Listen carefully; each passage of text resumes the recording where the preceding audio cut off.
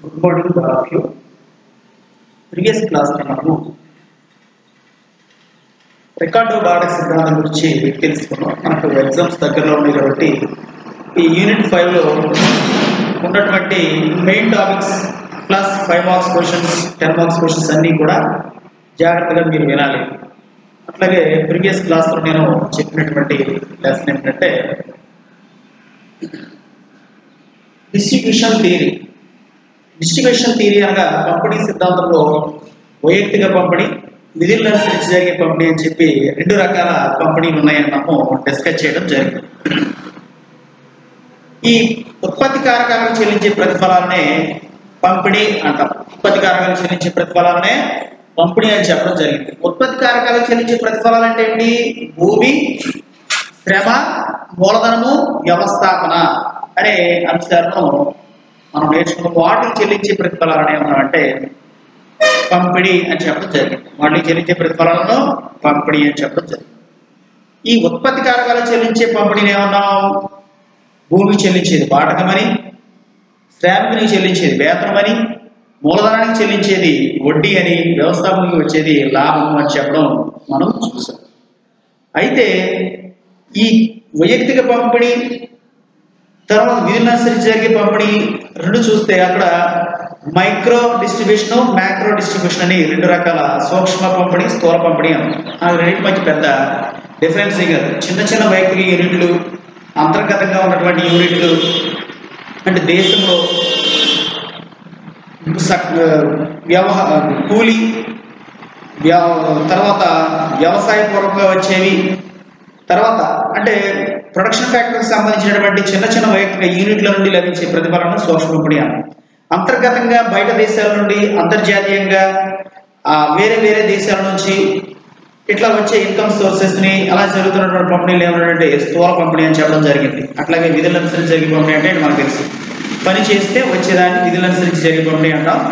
వైయక్తిక పంపిణీ అంటే కేవలము సంక్షేమాన్ని మాత్రమే దృష్టిలో పెట్టుకొని చేసే పంపిణీని సో, వైయక్తిక పంపిణీ అని చెప్పడం అనేది మనం చూస్తాం ఆ పంపిణీకి వచ్చేటప్పటికి మనం చూస్తున్నాం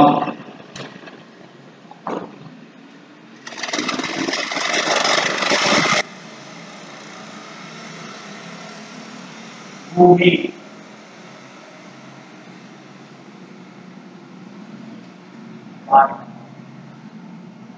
శ్రమ వేతనము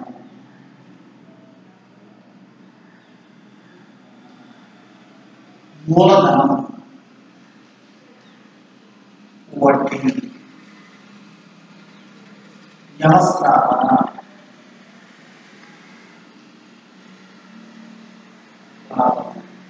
మొదటి అక్షరాన్ని మనము చూస్తాం. భూమికి బాటకము ఈ బాటకంలో మనం ఏమి నేర్చుకున్నాం ప్రతి ఒక్కొక్క దాని గురించి కూడా అన్ని అంశాలు. బాటకంలో మనం నేర్చుకున్నది ఏమిటి అంటే ఆధునిక బాటకము కృత్రిమ బాటకము సాంప్రదాయ పాఠకం అన్న కృత్రిమ పాఠకం అన్న ఒకటే. అందులో సార్ డేవిడ్ రికార్డో బాలక సిద్ధాంతం గురించి కూడా మనము ఈ టాపిక్లో విన్నాం. సార్ డేవిడ్ రికార్డో యొక్క విధానాన్ని కూడా మనము ఈ టాపిక్లో ఉన్నాం సార్ డేవిడ్ రికార్డో చెప్పినటువంటి బాటక సిద్ధాంతం ఏం చెప్పాడు? అందులో ఒక డయాగ్రామ్ కూడా ఒకటి మనం వేయాల్సి భూముల్లో రకాలు ఉంటాయి. ఏబిసి అనే రకాలు ఉంటాయి. అవన్నీ బాటకాలే. బాటకం అంటే ఏంటి? ఆ చేను లేదా ఆ పొలం పండించుకున్నదో చెల్లించే ప్రతిఫలాన్ని ఏమన్నామంటే బాటకము రెంట్ అద్దె బాడుగా అని రకరకాల పేర్లతో పిలవడం జరుగుతూ ఉంటుంది. ఇప్పుడు ఈ బాటకము అనేది మనం చెప్పుకున్నట్లయితే ఏదైనా కనిపిస్తుంది చూడండి మనం. బాటకము అనగా నాలుగు రకాలుగా మనం విభజించాం. ఆధునిక బాటకము కృత్రిమ బాటకము తర్వాత సాంప్రదాయ ఆధునిక బాటక సిద్ధాంతము సార్ డేవిడ్ రికార్డో బాటక సిద్ధాంతం. సార్ డేవిడ్ రికార్డో బాటక సిద్ధాంతంలో ఏం చెప్పాడు? ఏబిసి అని మూడు ఏబిసి అనే మూడు రకాల భూములు ఉంటాయి. ఏ భూమి నుండి ముప్పై బస్తాలు పడతాయి? సి భూమి నుండి ఇరవై బస్తాలు పడతాయి. బి భూమి నుండి ఇరవై బస్తాలు అంటే ఇరవై యూనిట్లు. సి భూమి నుండి పది యూనిట్లు పడతాయి. ఈ మూడు ఒక్కొక్కటి ఎకరం ఎకరంగానే మనం క్యాలిక్యులేట్ చేస్తాం. ఎకరం ఎకరంగానే మనం క్యాలిక్యులేట్ చేయడం అనేది చూస్తూ ఉంటాం ఇప్పుడు ఏ భూమి నుండి బి బి నుండి సి అంటే వాడికి మూడింటికి కూడా ఖర్చు మాత్రం సమానమే.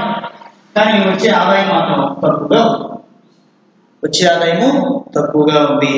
అంటే దీని అర్థం ఏంటి ఉత్పత్తికి కావాల్సినటువంటి పెట్టుబడి ఈక్వల్గా ఉన్నప్పటికీ కూడా వాటి నుండి వచ్చే రిజల్ట్ లేదా రిటర్న్స్ ఈ ప్రతిఫలాలు తేడాగా ఉన్నాయి. కారణం ఏంటి అంటే భూమిలో ఉన్నటువంటి రకరకాల నాణ్యతను బట్టి ఈ ప్రొడక్షన్ అనేది తయారవుతుంది. కాబట్టి వీళ్ళందరికీ కూడా ఒకే విధమైనటువంటి బాటకాన్ని వసూలు చేయడం కుదరదు. కాబట్టి ఏం చెప్పాడంటే సార్ డేవిడ్ రికార్డో అనే ఆర్థికవేత్త ఏం చెప్పాడంటే భూమిలో ఉన్న రకాలను బట్టి వాళ్ళకి ఆర్థిక వే- బాటకాన్ని వివరించాలని చెప్పేసి చెప్పడం జరిగింది. ఇప్పుడు నేను ప్రీవియస్ క్లాస్లో మీకు చెప్పడం జరిగింది. అయితే దీనికోసం ఒక డయాగ్రామ్ కూడా ఉంది. డయాగ్రామ్ ఎలా మెన్షన్ చేయాలో కూడా మీరు చూడండి. సార్ డేవిడ్ రికార్డో బాట సిద్ధాంతాన్ని వివరించండి అంటే మన క్లాస్లో చెప్పాను ఏబిసి అని మూడు కేటగిరీ భూములు ఉంటాయి. ఏ భూమి నాణ్యమైనది? బి అనేది కొంచెం నాణ్యమైనది. సి అనేది అత్యంత వెనుకబడి ఉన్నటువంటి నాణ్యత లేనటువంటి భూమిగా భూమిగా మనం పరిగణించవచ్చునని చెప్పేసి మనం చూసాం అట్లాగే ఇప్పుడు డేవిడ్ రికార్డో పాఠ సిద్ధాంతం మనం చూసినట్లయితే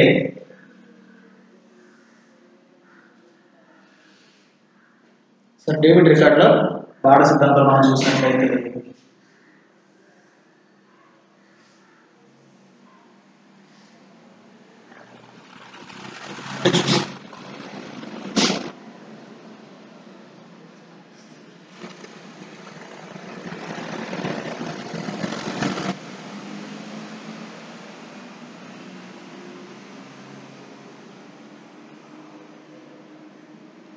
ఇందులో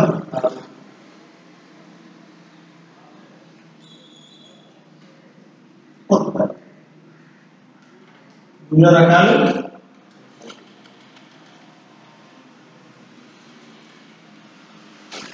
రకాలు ఏ పంట వలన ముప్పై యూనిట్లు బి పంట పండించడం వల్ల ఇరవై యూనిట్లు సి పంట పండించడం వల్ల పది యూనిట్లు వచ్చాయి. ఈ డయాగ్రామ్ కూడా మీరు మర్చిపోయారు ఇక్కడ కొన్ని ప్రమేయాలు కూడా ఉన్నాయి. ప్రమేయాలు ఏంటో కూడా మనం చూద్దాం. ప్రమేయాలు కూడా మనము చూద్దాం. డయాగ్రామ్ మీరు బాగా గుర్తుంచుకోవాలి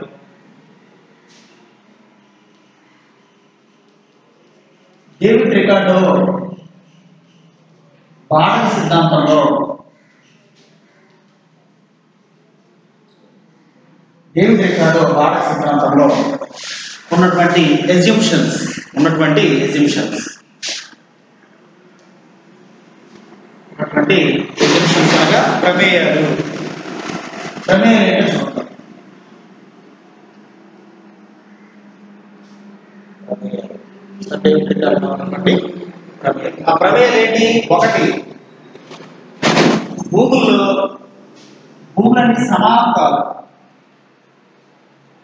భూముల రకాలన్నీ సమానం కాదు. ఎగ్జాంపుల్ రాయాలి. సార్ డేవిడ్ రికార్డు బాడ సిద్ధాంతాన్ని వివరించండి. సార్ డేవిడ్ రికార్డు ఏం చెప్పాడంటే భూముల్లో తేడా వలన ఏబిసి అనే కేటగిరీస్ ఉంటాయి. భూముల్లో రకాల వలన వచ్చే పంటలో తేడా వస్తుంది లేదా ఉత్పత్తిలో మార్పు ఉంటుంది. ఏ గ్రేడ్ భూములకి బి గ్రేడ్ భూములకి సి గ్రేడ్ భూములకి తేడాలు ఉంటాయి. కాబట్టి ఉత్పత్తి చాలా తక్కువగా ఉండొచ్చు బి గ్రేడ్ ఏ కంటే. తర్వాత సి అనేది బి కంటే ఇంకా తక్కువగా ఉండొచ్చు. మూడు ఎకరం ఎకరం ఎకరా ఎకరా తీసుకున్నప్పటికీ కూడా వాటర్ నుండి వచ్చే ఉత్పత్తి తక్కువగా ఉంటుంది. కారణం ఏమిటి అంటే భూమిలో రకాలు బట్టి కాబట్టి ఏ భూమి వాడికి ముప్పై యూనిట్లు వస్తే వాడు రెంట్ ఎలా చెల్లిస్తాడు? బాగానే చెల్లించగలడు.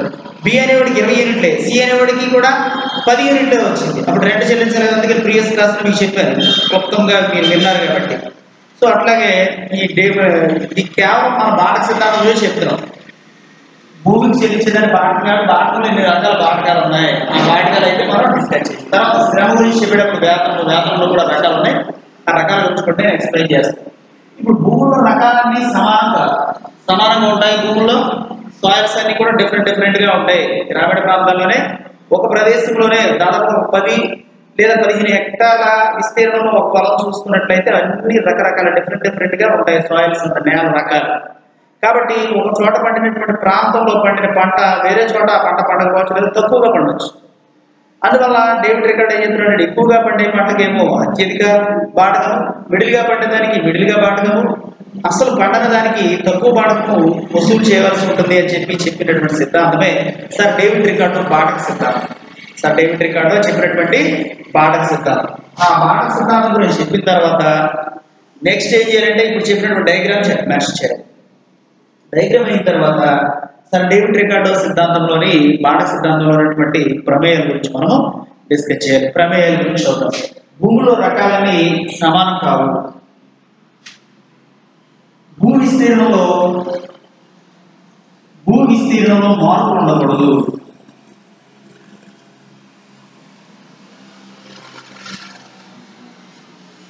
భూ విస్తీర్ణంలో మార్పులు ఉండరాదు.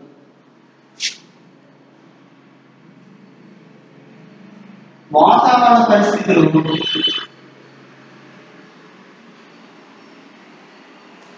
అనుకూలంగా ఉండదు.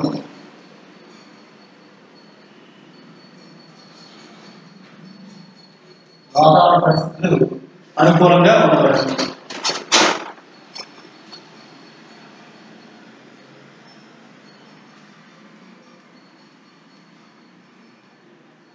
ఏబిసి పంటల మధ్య కాల వ్యవధి ఉండరాదు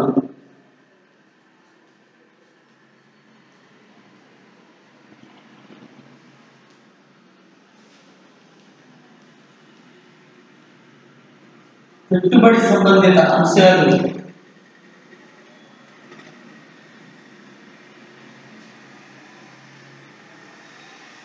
సమానంగా ఉండవు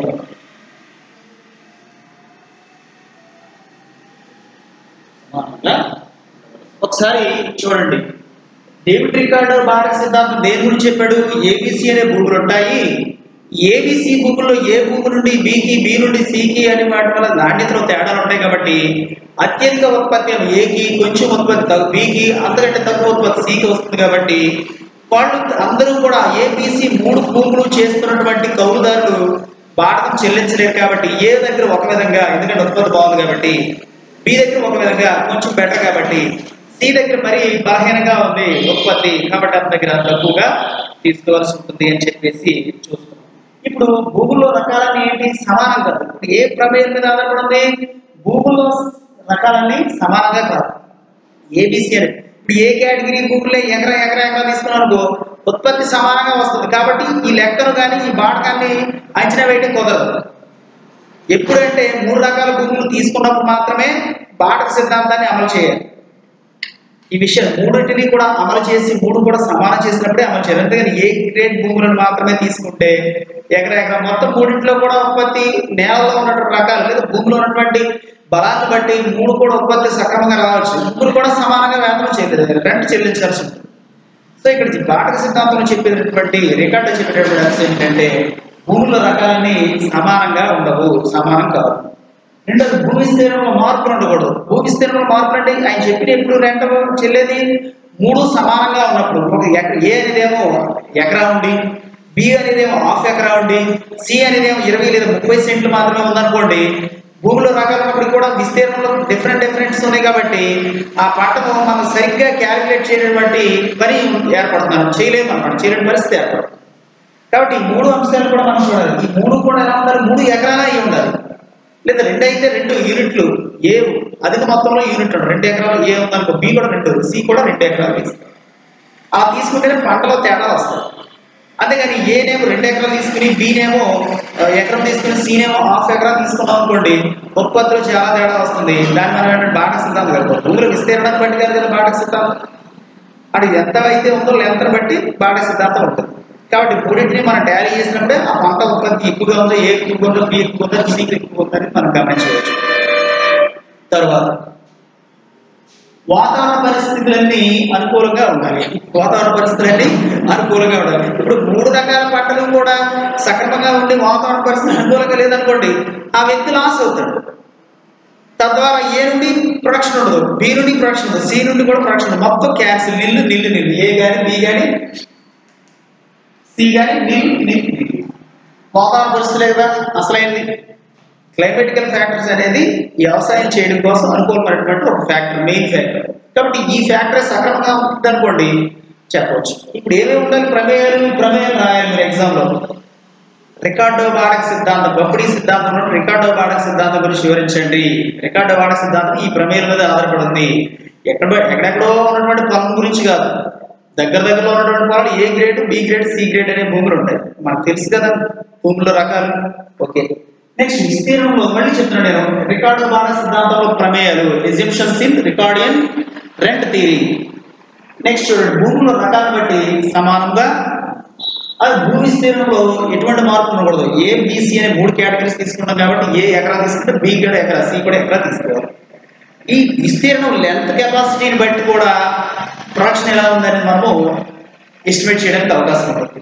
తర్వాత వాతావరణ పరిస్థితులు అనుకూలం. ఇవన్నీ ఉన్నప్పుడు కూడా వాతావరణం క్లైమేటికల్ ఫ్యాక్టర్స్ కూడా కంఫర్టబుల్గా ఉండాలి ఆ వాతావరణం సక్రమంగా ఆ ఏ పంట అయితే వినియోగిస్తూ ఉండలేదు ఏ పంటనైతే అతను పండించడం కోసం ప్రయత్నం చేస్తున్నాడో ఆ పంటకు అనుకూలంగా ఉండాలి. వాతావరణ పరిస్థితులు అనుకూలంగా లేకుండా ఉంటే మూడింటిలో కూడా తేడా వస్తుంది. డేటాలో తేడా వస్తుంది. ఒకవేళ ఏకి సక్రమంగా పదిహేను ముప్పై యూనిట్లు పండేది వాతావరణం లేకపోతే అది పది యూనిట్లే పండుతుంది. అక్కడ కూడా మనం చూసినట్లే బి అనేది ఐదు యూనిట్లే పండొచ్చు. సి అనేది కూడా ఇంకా మరీ తగ్గిపోవచ్చు. సో టోటల్గా మనం డేటా కరెక్షన్ చేయడం చాలా కష్టతరం అవుతుంది. అట్లాగే ఏబిసి పంటల మధ్య కాలం అనేది ఉండరాదు. ఏ సీజన్లో అయితే పంటలు వేసామో ఆ సీజన్లోనే మూడు పంటల యొక్క సామర్థ్యాన్ని తెలుసుకోవాలి. ఈ సంవత్సరం ఏ వేసాం? నెక్స్ట్ సీజన్ పోయిన తర్వాత after season next B button సేద్యం చేసాం తర్వాత రెండేళ్ళు పోయిన తర్వాత సి బటన్ సేద్యం చేసాం అట్లా చేస్తే అప్పుడు వాతావరణ పరిస్థితులు అనుకూలించడం కానీ లేదా సీడ్స్ వేరు రకం విత్తనాలు ఉపయోగించడం వల్ల కానీ డేటాలో తేడా రావచ్చు ప్రాబ్లం రావచ్చు. కాబట్టి ఏబీసీ పంటల మధ్య ఏ వ్యవధి ఉండకూడదంటే కాల వ్యవధి ఉండకూడదు. ఏముండకూడదు టైం డిస్టెన్స్ అనేది ఉండకూడదు. మూడు పంటలు కూడా ఒకే సీజన్లో వేయగలగాలి. లేకపోతే ప్రాబ్లం అవుతుంది అట్లాగే పెట్టుబడి సంబంధిత అంశాలు సమానంగా ఉండాలి అంటే ఈక్వల్ ఇన్వెస్ట్మెంట్ చేయాలన్నమాట. అంటే ఏంటి? ఏకి ఎంత పెట్టుబడి పెట్టామో ఏకి ఏ పంట పండించడం కోసం పది యూనిట్లు పెట్టి బికి ఆరు యూనిట్లు పెట్టి సికి రెండు యూనిట్లు పెట్టామనుకోండి పెట్టుబడి పెట్టే కదా పంట వచ్చేది? ఇప్పుడు ఎరువులు ఉపయోగించాలి మందులు ఉపయోగించాలి ఈ మందులన్నీ కొనుగోలు చేసి ఏకి ఎక్కువ పెట్టి బీకి కొంచెం తగ్గి సికి తక్కువ పెట్టేందుకు ఉత్పత్తి కూడా అదే విధంగా ఉంటుంది. కానీ ఇక్కడ నిర్ణయించే అంశం ఏంటి అంటే మనం డిస్కస్ చేసే అంశం ఏంటి అంటే ఎప్పుడైనా సరే మూడు పంటలను మనం అనుకూలంగా ఉపయోగించినప్పుడు ఏకి పది యూనిట్లు బికి పది యూనిట్లు సికి పది యూనిట్లు కూడా పెట్టుబడి పెట్టాలి. మూడుకి సమానంగా పెడితేనే కదా. అప్పుడు వాటి నుంచి ఉత్పత్తి ఎలాగో తెలుస్తుంది? ఒకవేళ సమానంగా పెట్టకపోతే బీకి తక్కువ పెట్టుబడి పెట్టాం కాబట్టి ఇన్వెస్ట్ చేశాడు కాబట్టి ఇరవై యూనిట్లు వచ్చాయి. సికి ఐదు యూనిట్ ఐదు యూనిట్లు పెట్టుబడి పెట్టాడు కాబట్టి పది యూనిట్లే రిజల్ట్ వచ్చింది అని అనుకోండి. కాబట్టి పెట్టుబడి కూడా ఎలా ఉండాలి ఇన్వెస్ట్మెంట్ కూడా ఈక్వల్గా ఉండాలి? ఇవి రికార్డో బాటక్ సిద్ధాంతంలోని ప్రమేయం. చాలా చాలా ఇంపార్టెంట్ ఇవి. ఒకసారి మళ్ళీ చెప్తున్నాడు సర్ డేవిడ్ రికార్డో దేని గురించి చెప్పాడు అంటే బాటక సిద్ధాంతం గురించి చెప్పాడు. బాటకం దేనికి చెల్లిస్తామంటే భూమికి చెల్లించే బాటకం.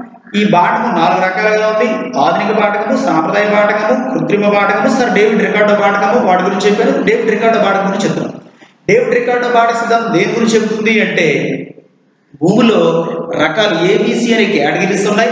ఆ ఏబిసి అనే కేటగిరీస్ ద్వారా ఇబ్బందులు ఎదురయ్యి అండ్ పంటలో నష్టాలు ఇట్లాంటి వాటిలలో పంటలో సేద్యం చేయబడినటువంటి పోషక విలువలు ఆ భూమిలో లేకపోవడం లేదా ఆ భూమి వెనకబడిపోయి ఉండడం అట్లా ఇట్లా ప్రాబ్లమ్స్ వల్ల ఉత్పత్తి తగ్గిపోతుంది కాబట్టి ఆ ముగ్గురు కూడా ఒకే రేటు పే చేయలేరు అని సార్ డేవిడ్ రికార్డ్ చెప్పాడు. అందుకని అతను ఏం చేశారంటే ఒక ప్రాక్టికల్గా మనకు ఒక డయాగ్రామ్ ద్వారా మరియు ఒక టేబుల్ ద్వారా చెప్పారు ప్రీవియస్ క్లాస్లో కూడా నేను మీకు టేబుల్ చెప్పాను. నేను మళ్ళీ చెప్పడానికి మనకి లెంత్ ఎక్కువ ఉంది. ఇంకా వాళ్ళు డిస్కస్ చేయాల్సి చాలా ఉంది. నెక్స్ట్ టుమారోనే మీరు ఎగ్జామ్స్ రాయాల్సి ఉంది కాబట్టి ప్రతి ఒక్కరు కూడా మీరు వీడియో చూడాలి. ఇది లెసన్ అర్థం చేసుకోవాలి. అట్లీస్ట్ డేవిడ్ రికార్డ్ పాఠ సిద్ధాంతం గురించి వివరించి ప్రమేయాలు ఆ డయాగ్రామ్ రాసిన సరిపోతుంది అందుకే డయాగ్రామ్ కూడా ఒకసారి నేను చెప్తున్నాను మళ్ళీ మీరు వినండి. సింపుల్గా డయాగ్రామ్ మీరు చూడండి. అంతే. ఇక్కడ థర్టీ యూనిట్లు twenty units ten units A B ఇక్కడ ఉత్పత్తి సారీ ఉత్పత్తి భూముల రకాలు ఉత్పత్తి భూముల ఈ డయాగ్రామ్ వేసిన తర్వాత సార్ డేవిడ్ రికార్డ్ ఆఫ్ ఆర్ట్స్ సిద్ధాంతంలోని ఇమిడి ఉన్నటువంటి ప్రమేయాలు exhibitions in sir David Ricardo rent theory భూమిలో రకాలన్నీ సమానం కాదు. భూమిలో రకాలన్నీ సమానం కాదు. రెండోది భూమి విస్తీర్ణంలో మార్పులు ఉండరాదు. భూమి విస్తీర్ణంలో మార్పులు ఉండరాదు. అట్లాగే వాతావరణ పరిస్థితులు అనుకూలంగా ఉండరాదు. ఏబిసి పంటల మధ్య కాలాలని ఉండరాదు. పెట్టుబడికి సంబంధించిన అంశాలు సమానంగా ఉంటాయి ఉండాలి. అట్లా ఉంటేనే మనం రేవిడ్ రికార్డు చెప్పినటువంటి నాలుగు బాణ సిద్ధాంతాన్ని నిరూపించడం అనేది జరుగుతుంది. ఇంట్లో ఏమన్నా తేడా వచ్చినా సరే పది యూనిట్లు పదిహేను యూనిట్లు ఇరవై యూనిట్లు ముప్పై యూనిట్లు అనే దాంట్లో తేడాలో తేడా వస్తుంది. మనం నిరూపించలేము. ఎందుకంటే అన్ని సక్రమంగా ఉంటేనే కదా. ఇప్పుడు అందరినీ ముగ్గురు వ్యక్తులు ఉన్నారు. ఏబిసి అనే ముగ్గురు వ్యక్తులు ఉన్నారు. వాళ్ళందరూ కూడా ఫిజికల్ కండిషన్ బాగుంటేనే వాళ్ళ ముగ్గురిని కూడా పరుగు పందెంలో పెట్టారు. ఫిజికల్ కండిషన్ ముగ్గురు సమానంగా ఉన్నప్పుడు మాత్రమే మనం ముగ్గురిని పెట్టినప్పుడు ఎవరు ఫస్ట్ సెకండ్ వచ్చారో మనకు తెలుసు. అట్లాగే ఒక హ్యాండిక్యాప్ ఒక నడవలేని వ్యక్తిని ఒక బాగా పరిగెత్తే వ్యక్తిని పెట్టామనుకోండి బాగా పరిగెత్తే వ్యక్తి తక్కువ చేరుకుంటాడు లక్ష్యం చేరుకుంటాడు అతను అప్పుడు అలా ప్రైజ్ ఉంటుంది అతను ఎలా నడిచినా సరే తెలుస్తాయి కాబట్టి అందుకని డేవిడ్ రికార్డ్ కూడా ఏం చెప్పాడంటే మూడు అంశాలను తీసుకోవాలి దృష్టిలో. మూడింటి కూడా సమానమైన పెట్టుబడి పెట్టాలి. మూడు ఒకే టైంలో వినియోగించాలి. ఒకే పెట్టుబడి పెట్టాలి. కాలక్రమేణా ఒకే విధంగా ఉండాలి. అన్ని సక్రమంగా ఉండాలి. వాటిలో ఉత్పత్తి చూడండి. ఆ ఉత్పత్తిని బట్టి వాడికి ఆదాయం ఉంటుంది. ఆ ఆదాయాన్ని బట్టి వాడికి రెంట్ చెల్లించవలసి వాడి నెసెసిటీ ఉంటుంది అని చెప్పేసి సార్ డేవిడ్ రికార్డు ఈ విషయం మనకి ఎక్స్ప్లెయిన్ చేయడం అనేది మనము చూసుకున్నాం సార్ డేవిడ్ రికార్డు ప్రమేయాలు సిద్ధాంత ప్రమేయాలు. తర్వాత ముగింపు. సార్ డేవిడ్ రికార్డు పాఠ సిద్ధాంతం ఉన్నటువంటి ముగింపు.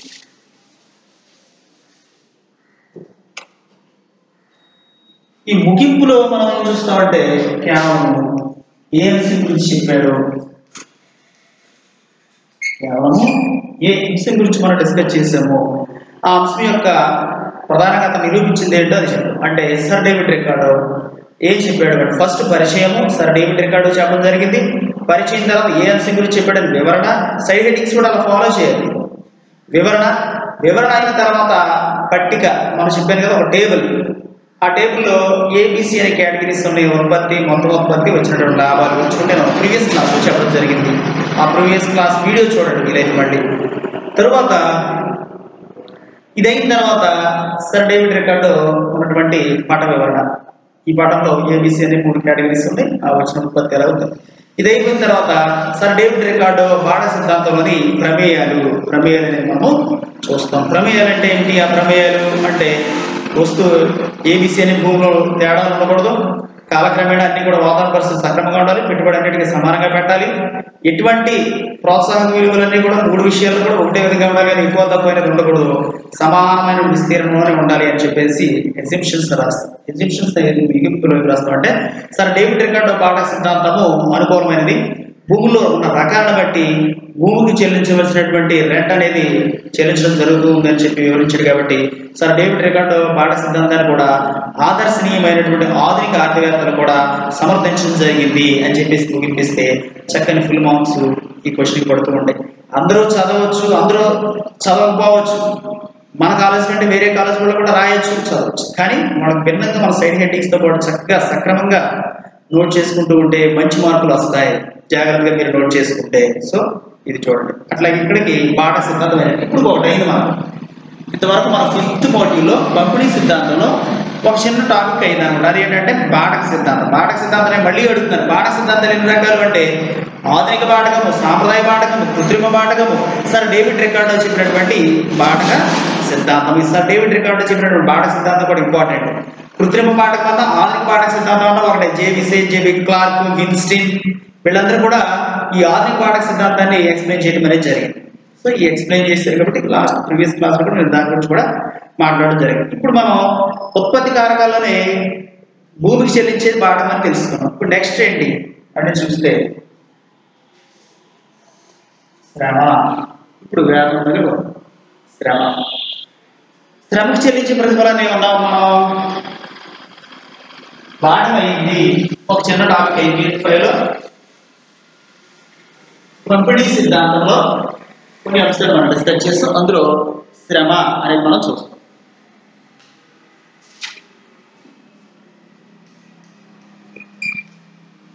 శ్రమకు చెల్లించే ప్రతిఫలనే ఉన్నాం వేతనము వేజెస్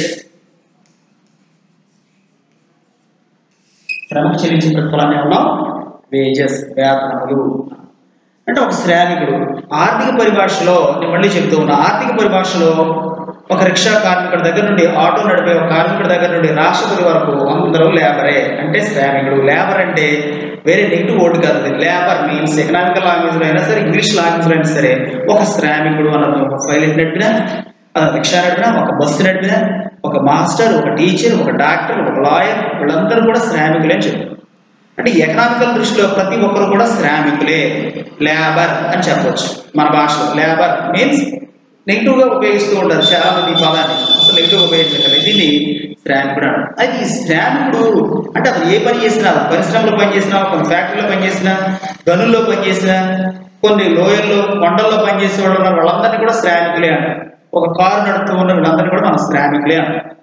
ఈ శ్రామికులకు చెల్లించే ప్రతిఫలాన్ని ఏమన్నారంటే వేజెస్ లేదా వేతనాలు అని ఏమన్నా వేతనాలు ఈ వేతనాన్ని నాలుగు రకాలుగా విభజించవచ్చు. ఇందాక ప్రీవియస్ క్లాస్లో నేనేం చెప్పానంటే బాటకము భూమికి చెల్లించే ప్రతిఫలాన్ని బాటకము అని ఆ భూమికి చెల్లించే ప్రతిఫలంలో బాటకం నాలుగు రకాల గురించి అలాగే వేతనం కూడా నాలుగు రకాల వేతనాలు ఉన్నాయి.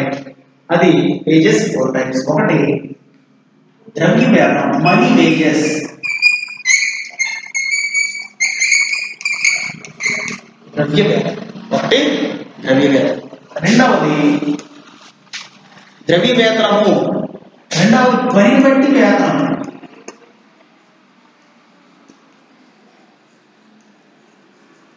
పనిని బట్టి వేతనం మూడవది కాలాన్ని బట్టి వేతనం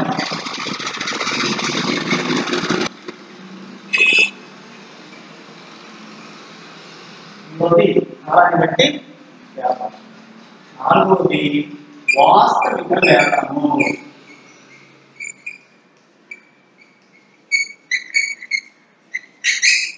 వాస్తవిక వేతనం. ద్రవ్య వేతనము పనిని బట్టి వేతనము కాలాన్ని బట్టి వేతనము వాస్తవిక వేతనం అని చెప్పి నాలుగు రకాల వేతనాలు ఉన్నాయి మనం వేతనాలు ఎన్ని రకాలు?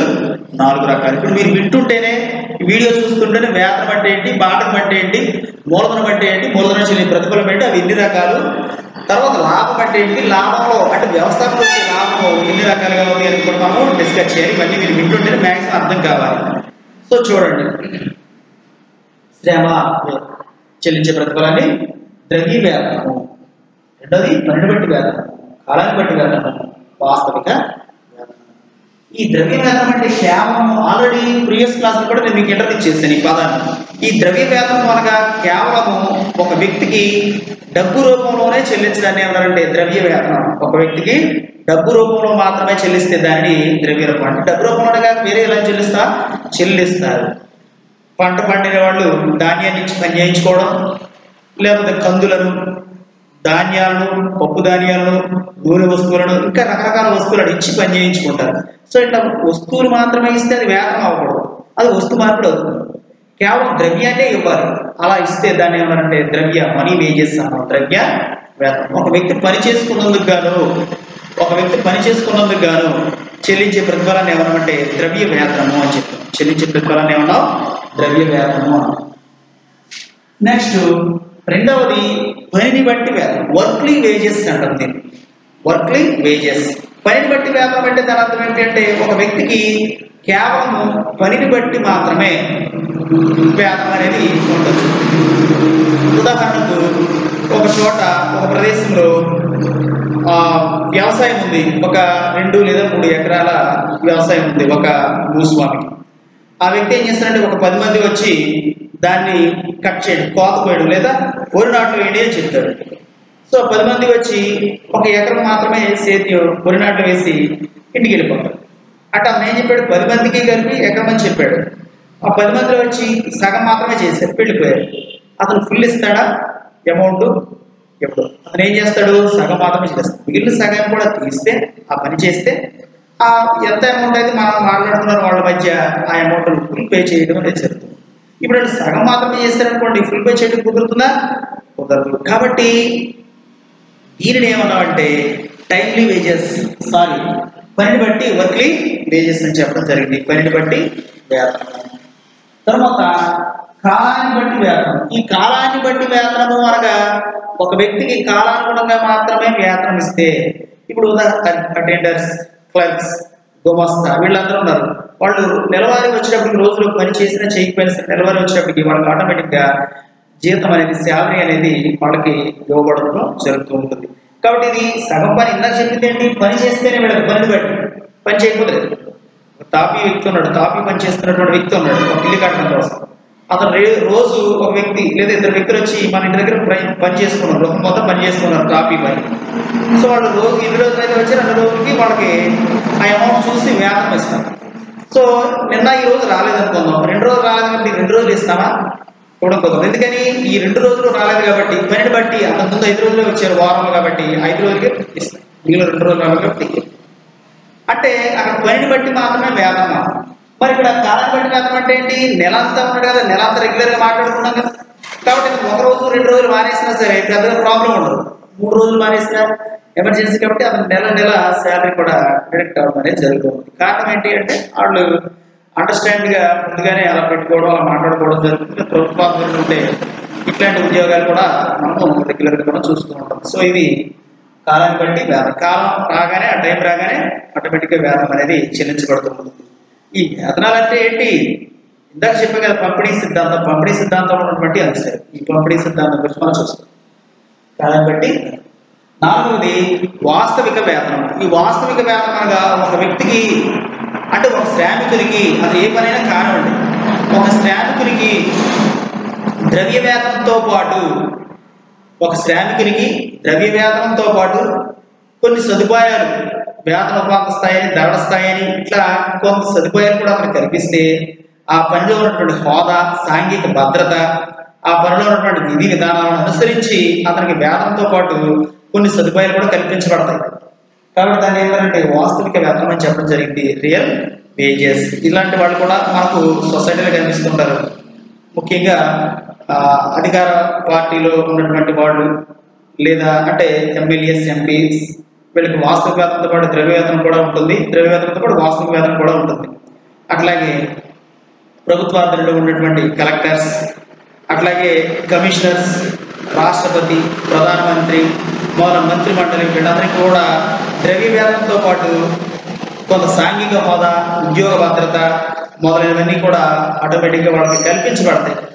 సో వీటన్నిటిని ఏమన్నా మనం వాస్తవిక వేతనం అని చెప్పడం జరిగింది. వాస్తవిక వేతనం చూడండి. వేతనం ఎన్ని రకాలు? ఇందాక బాటకాన్ని నాలుగు రకాలు అని చెప్పాం. వేతనం ఎన్ని రకాలు? నాలుగు రకాల వేతనాలు ఉన్నాయి. ఏంటంటే ద్రవ్య వేదం పనిపెట్టి వేదం కారణపెట్టి వేదం ఇప్పుడు వాస్తవిక వేదం ప్రభాతం చేసే అంశాలు అండి. ఆ ప్రభాతం చేసే అంశాలు కూడా తెలుసు. ఇది ఫైవ్ మార్క్స్ అడుగుతూ ఉంటాడు. పంపిణీ సిద్ధాంతంలో యూనిట్ ఫైవ్లో వాడు అడిగే క్వశ్చన్స్ ఏంటంటే డేవిడ్ రికార్డో బాడ సిద్ధాంతం గురించి వివరించినట్టు లేదా పంపిణీ గురించి ఒక వ్యాసం రాయండి అంటే పంపిణీ అంటే చెప్పాను కదా వైయక్తిక పంపిణీ విధులను అనుసరించి జరిగే పంపిణీ అని చెప్పేసి ప్రీవియస్ క్లాస్లోనే ఉంది. మీరు కావాలంటే మళ్ళీ చూడొచ్చు. అట్లాగే కీన్స్ రికార్డో బాట సిద్ధాంతం గురించి కూడా వాడు అడిగే అవకాశం ఉంటుంది. అది కూడా టెన్ మార్క్స్ పెట్టాలి రెండు క్వశ్చన్లో ఒకటి టెన్ మార్క్స్ పడుతూ ఉంటాడు. అది కూడా నేను ఇంపార్టెంట్ క్వశ్చన్స్లో మీకు ఇచ్చాను లిస్ట్. అట్లాగే ఫైవ్ మార్క్స్లో చూసినట్లయితే వాస్తవిక వేతనము అనేది కూడా వస్తుంది. ఈ వాస్తవిక వేతనం ప్రభావం చేసే అంశాలు what are the influenced factors in real wages? వాస్తవిక వేతనాన్ని ప్రభావితం చేసే అంశాలు ఏవి అని కూడా అడిగే అవకాశం ఉంటుంది. అది కూడా మనం చూద్దాం. వాస్తవిక వేతనం ప్రభావితం చేసే అంశాలు. ఇప్పుడు ద్రవ్య వేతనం ఉంది కాలాన్ని బట్టి వేతనం ఉంది పనిని బట్టి వేతనం ఉంది. వాటి గురించి అవసరం ఇంకెనా ఇంకెక్కడతో సింగిల్ వర్డ్స్ అనమాట ఇంక వాటి గురించి మనకు తెలుసు కాబట్టి వాటి ప్రభావితం చేసే అంశాలు. కేవలం వాస్తవిక వేతనాన్ని ప్రభావితం చేసే అంశాలు మాత్రమే ఉన్నాయి. అది మీరు చదువుకుంటే చాలు. ఫైవ్ మార్క్స్ అడిగే అవకాశం ఉంది.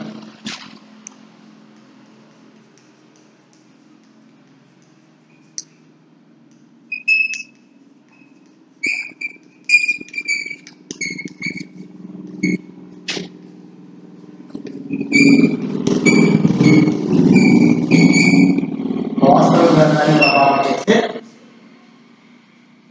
చెప్పు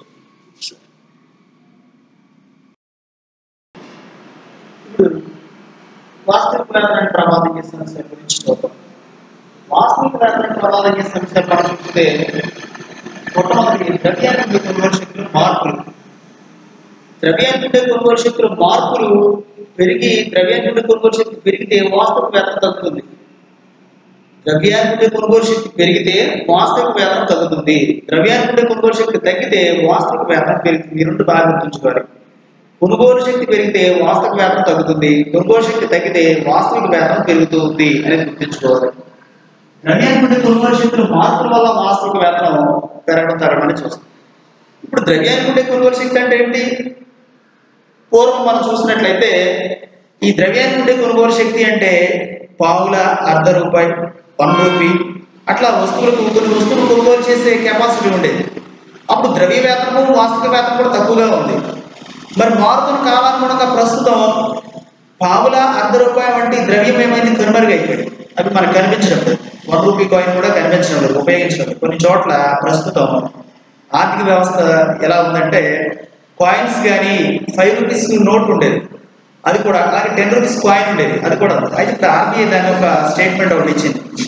టెన్ రూపీస్ కాయిన్స్ కానీ ఫైవ్ రూపీస్ కాయిన్స్ కానీ అనౌన్స్ చేయలేదని నేను చెప్పలేదు అనౌన్స్ చేయలేదు. సో అంటే చాలా చోట్ల వీటిని రిజెక్ట్ చేస్తున్నారు ఈ ద్రవ్యాన్ని. వీటిని నాడి ద్రవ్యం అన్నాం కాగితం కరెన్సీ ఉంది. కాగితం కరెన్సీ ఫైవ్ రూపీస్ ఉంటే ఇప్పుడు ఎలిజిబిలిటీ లేదు. దాన్ని ఎలా చేయలేదు టెన్ రూపీసే ఎలా చేస్తారు ఫైవ్ రూపీస్ ఎక్కడ ఇచ్చామనుకోండి మీరు ట్రై చేయండి. మాకు అవసరం లేదండి five rupees currency paper note paper అంటే మారుతున్న కాలానుగుణంగా ద్రవ్యం యొక్క కొనుగోలు శక్తిలో మార్పులు సంభవిస్తే వాస్తవ వ్యాధం పెరగడం తగ్గడం అనేది జరుగుతుంది. ఇప్పుడు కొనుగోలు శక్తి ద్రవ్యం యొక్క వాల్యూ తగ్గిపోయింది కాబట్టి కొనుగోలు శక్తిని ఏం చేయాలి? ఇంకా ఎక్కువ డబ్బు కాదు ఇప్పుడు పూర్వం వంద రూపాయలకి నెల జీతం అనుకుందాం. ఇప్పుడు ఒక పదిహేను ఇరవై ఏళ్ళ క్రితం. సో అతను హండ్రెడ్ రూపీస్కి చాలా వస్తువులు కొనుగోలు చేయొచ్చు. ఇప్పుడు కొంత ద్రవ్యం కనుమరుగైపోయింది. ఆ ద్రవ్యాన్ని ఎలా చేయట్లేదు?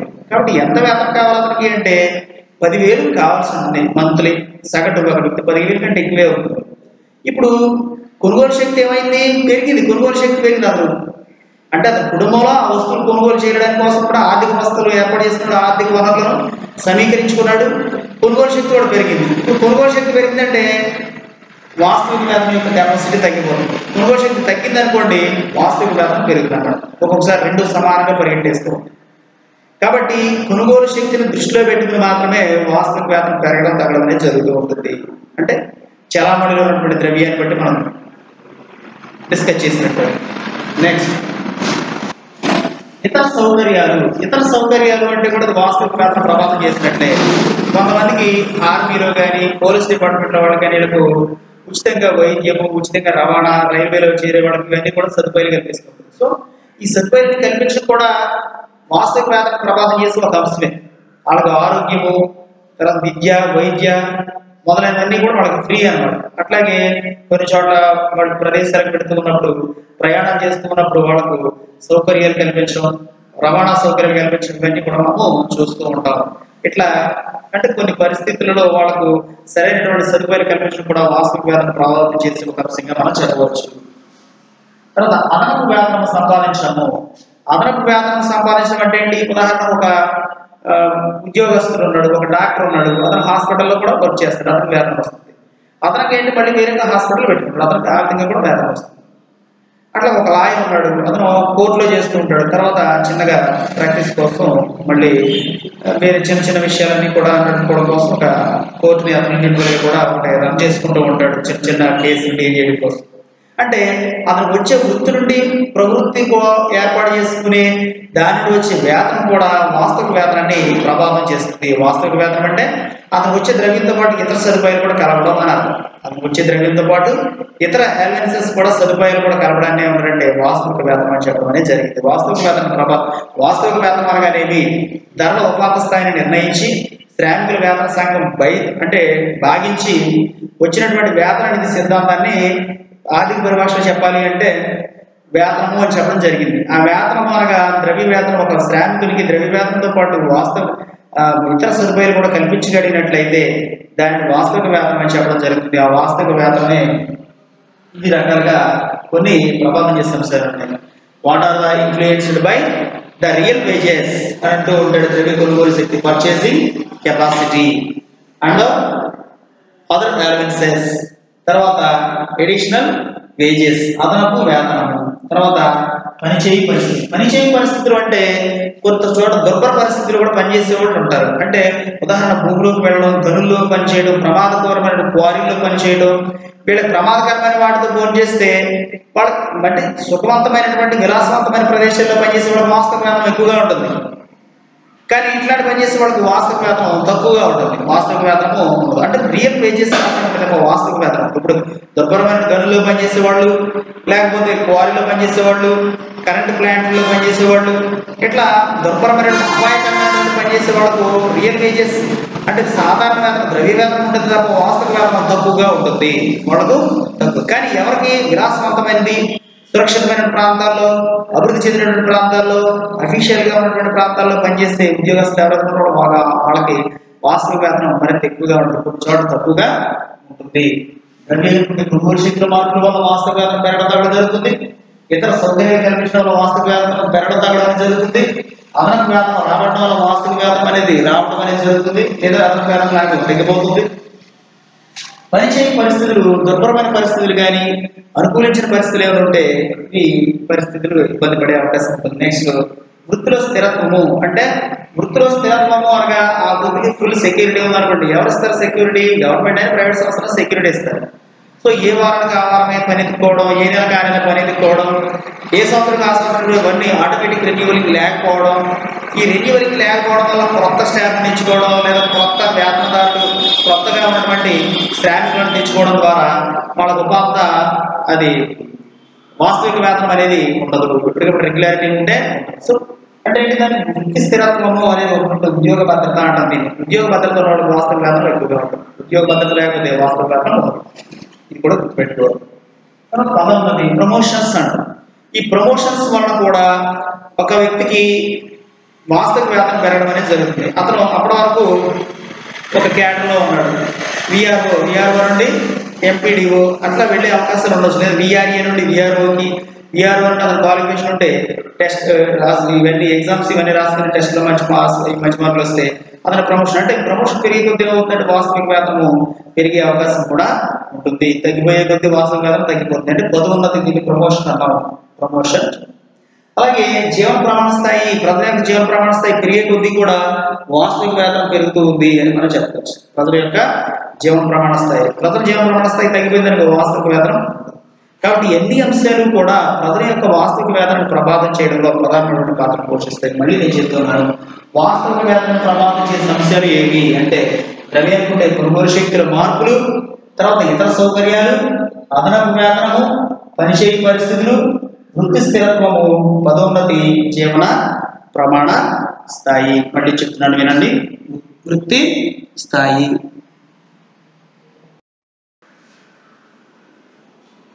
ద్రవ్య కొనుగోలు శక్తి మార్పులు ఇతర సౌకర్యాలు అదనపు వేతనము పనిచేయ పరిస్థితులు వృత్తి స్థిరత్వము పదోన్నతి జీవన ప్రమాణ స్థాయి మొదలైనవి వాస్తవిక వేతనాన్ని ప్రభావితం చేసే అంశాలు ఇది వేతనం ఇప్పుడు వరకు మనం ఏం నేర్చుకున్నాం? బాటకం గురించి నేర్చుకున్నాం.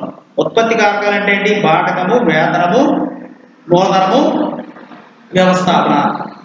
బాటకం అంటే భూమికి చెల్లించేది బాటకమని శ్రామికునికి చెల్లించేది వేతనమని మూలధనానికి చెల్లించేది వడ్డీ అని వ్యవస్థాపనకు చెల్లించేది లాభం అని చెప్పి వీటిని ప్రొడక్షన్ ఫ్యాక్టర్స్ అని దీన్ని పంపిణీ సిద్ధాంతం అయితే మనం ఫస్ట్ నుంచి ఏం నేర్చుకున్నాం అంటే ఫస్ట్ బాటకం గురించి నేర్చుకున్నాం. ఆధునిక బాటకము కృత్రిమ బాటకము రికార్డో బాటక సిద్ధాంతము తర్వాత ఆధునిక బాటక సిద్ధాంతాల గురించి నేర్చుకున్నాం. రెండవది వేతనము ద్రవ్యం అంటే వ్యా అక్కడ శ్రామికునికి చెల్లించే ప్రతిఫలాన్ని వేతనం అని చెప్పడం జరిగింది. వేతనం నాలుగు రకాల ద్రవ్య వేతనము కాలం బట్టి వేతనము పన్నెండు బట్టి వేతనం వాస్తవ వేతనం వాస్తవ వేతనం ప్రభావం ఈ సమస్యలు ఇవి.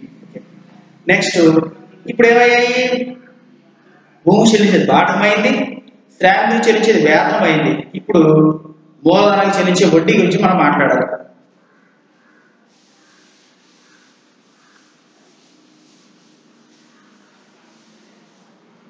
జాగ్రత్తగా వెళ్ళాలి మూలధనానికి చెల్లించే ప్రతిఫలం ఏమన్నామంటే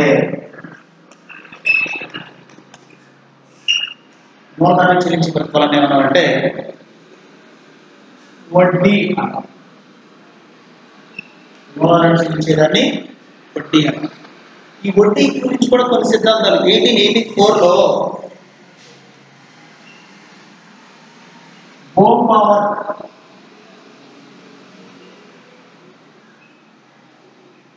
హోమ్ పవర్.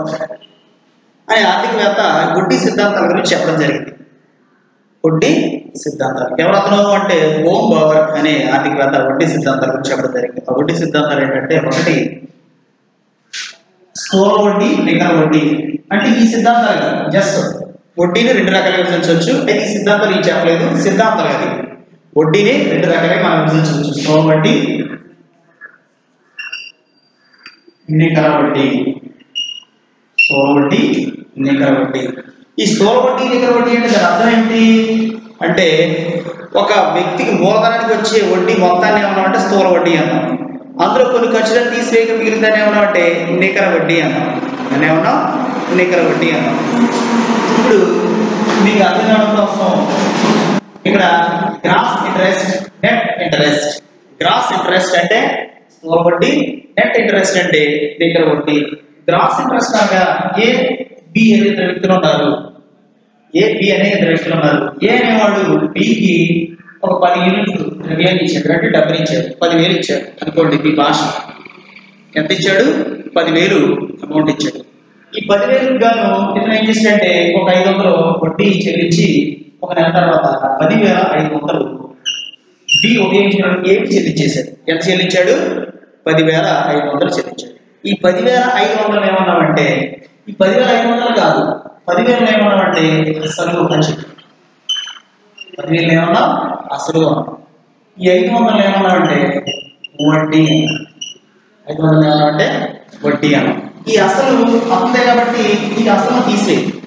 ఈ వడ్డీలో స్థూల వడ్డీ నికర వడ్డీ అని రెండు రకాల వడ్డీలు ఉంటాయి. స్థూల వడ్డీ నికర వడ్డీ అని రెండు రకాల ఇప్పుడు ఏ వడ్డీ తీసుకున్నాడు కాబట్టి మొత్తం దీన్ని ఏమన్నా వచ్చి ఐదు వందలు ఏమన్నా అంటే ఫైవ్ హండ్రెడ్ స్థూల వడ్డీ వచ్చింది గ్రాస్ ఇంట్రెస్ట్ వచ్చిందని ఏమన్నా గ్రాస్ ఇంట్రెస్ట్ అందులో ఖర్చులు స్టాంప్ ఖర్చులు నిర్వహణ ఖర్చులు బాండ్స్ సెక్యూరిటీ బాండ్స్ ఏ అస్తమానం ఫోన్ చేయడమో లేకపోతే దగ్గరికి వెళ్ళడమో బాండ్స్ సెక్యూరిటీస్ ఏదో ప్రూఫ్స్ పెట్టమని చెప్పాడు కదా అలా పెడితే పదివేలు చెప్పాడు కదా ఆ ఖర్చులన్నీ తీసివేయగా. అవి ఒక హండ్రెడ్ రూపీస్ అయ్యాయి. ఆ ఖర్చులన్నీ కలిసి హండ్రెడ్ రూపీస్ అయ్యాయి. ఇప్పుడు five hundred minus hundred equal to four hundred. ఇది నికర వడ్డీ ఖర్చులను వచ్చిన మొత్తం వడ్డీ నేను వడ్డీ అంటాం. దాంట్లో ఖర్చులను తీసేయగా మిగిలిందని ఏమన్నారంటే నికర వడ్డీ. సింపుల్గా అర్థం చేసుకోవడం కోసం మాత్రం చెప్పాడు ఇందులో వడ్డీ సిద్ధాంతాలు కూడా ఉన్నాయి. హోమ్ వర్క్ ఎయిటీన్ ఎయిటీ ఫోర్లో వడ్డీ సిద్ధాంతాల గురించి చెప్పాడు. ఆ వడ్డీ సిద్ధాంతాల గురించి కూడా మనం చూద్దాం. హోమ్ వర్క్ మూలధనాన్ని చెల్లించే ప్రతిఫలం ఏమన్నామంటే వడ్డీ అన్నాం. ఆ వడ్డీ ఉన్నది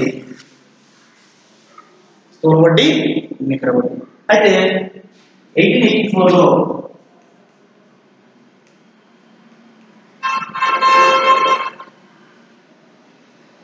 భూంబావర్ వడ్డీ సిద్ధాంతం.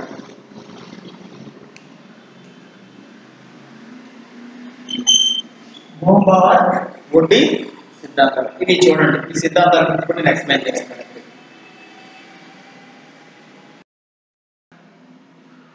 చూడండి.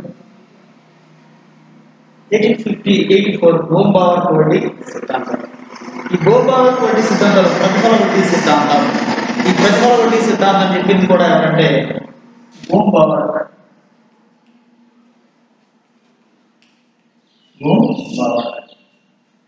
తర్వాత ఆస్కియన్ అండ్ ఏజియో వడ్డీ సిద్ధాంతం. ఇది చెప్పిన సిద్ధాంతం ఎవరంటే eighteen thirty four John Rae.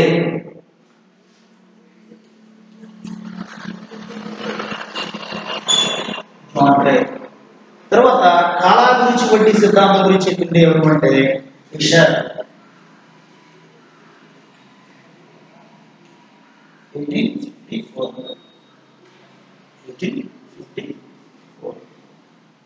ఈ ప్రతిఫల వడ్డీ సిద్ధాంతం అనగా అసలు వడ్డీ సిద్ధాంతాలు అంటే ఏంటి? వడ్డీ గురించి చెప్పినటువంటి కొన్ని ముఖ్యమైనటువంటి అంశాలు. వాళ్ళు జనరల్గా థియరిటికల్గా కొన్ని అంశాలు చెప్పడం జరిగింది. ప్రతిఫల వడ్డీ సిద్ధాంతము అనగా భూమావర్కి ఏం చెప్పాడంటే వడ్డీ అనేది దేని దృష్టిలో పెట్టుకుంటుంది? కాలానుగుణంగా దృష్టిలో పెట్టుకుంటాం.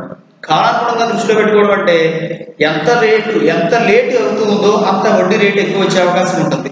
కాబట్టి వడ్డీ మీద ఆధారపడేవాడు లేదు. వడ్డీ అంటే ఏంటి? ఇంకా డబ్బులు సృష్టించింది అంటే టైము ఏం చేస్తే దాని నుండి ఎక్కువ ఉత్పత్తి వచ్చే దాని నుండి ప్రొడ్యూస్ చేసుకోగలుగుతుంది ఇంట్రెస్ట్ రేట్ని.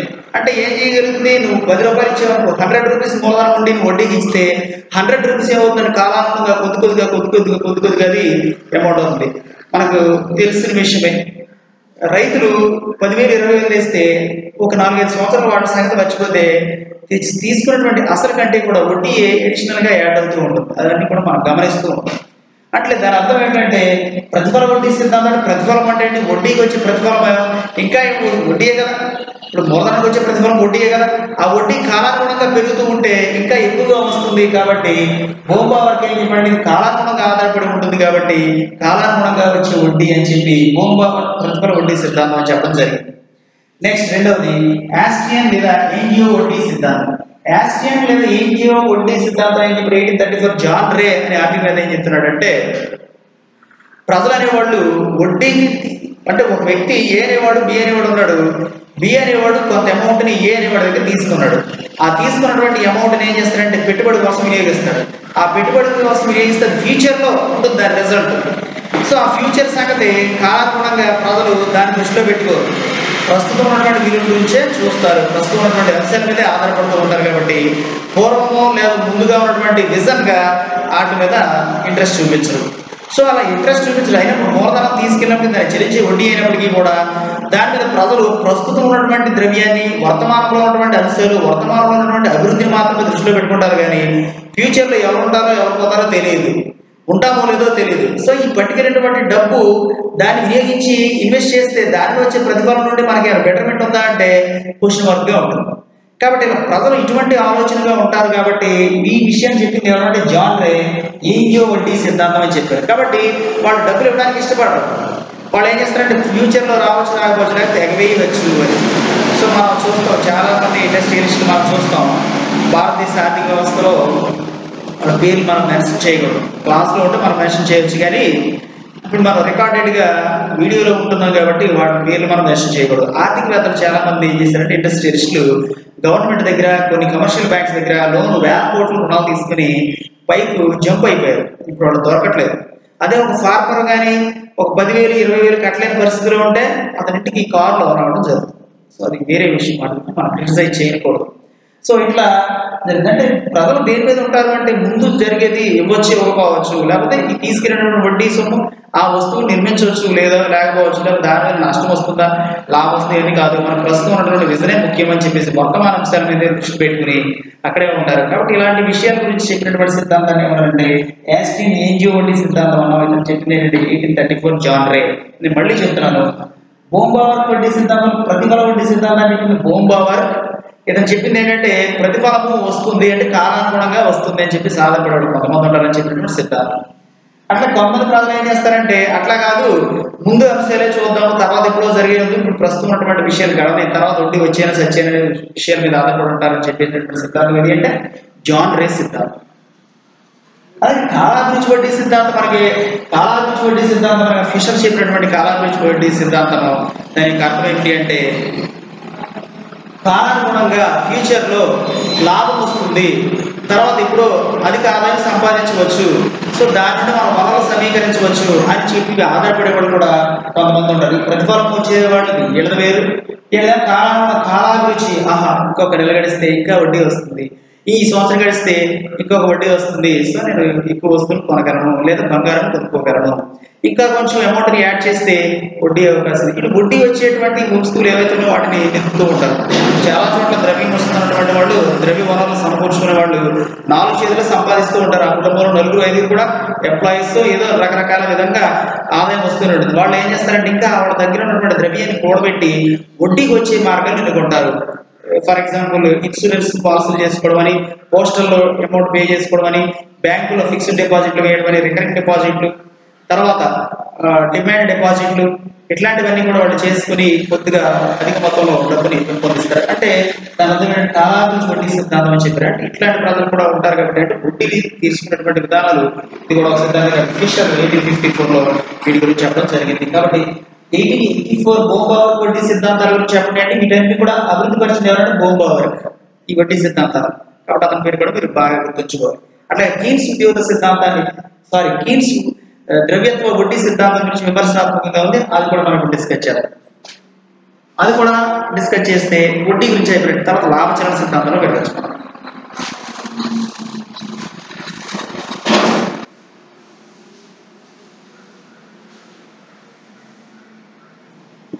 లాభచరణ సిద్ధాంతంలో పెట్టవచ్చు ఒకటి ఏంటంటే కీన్స్ ద్రవ్యత్వ వడ్డీ సిద్ధాంతం.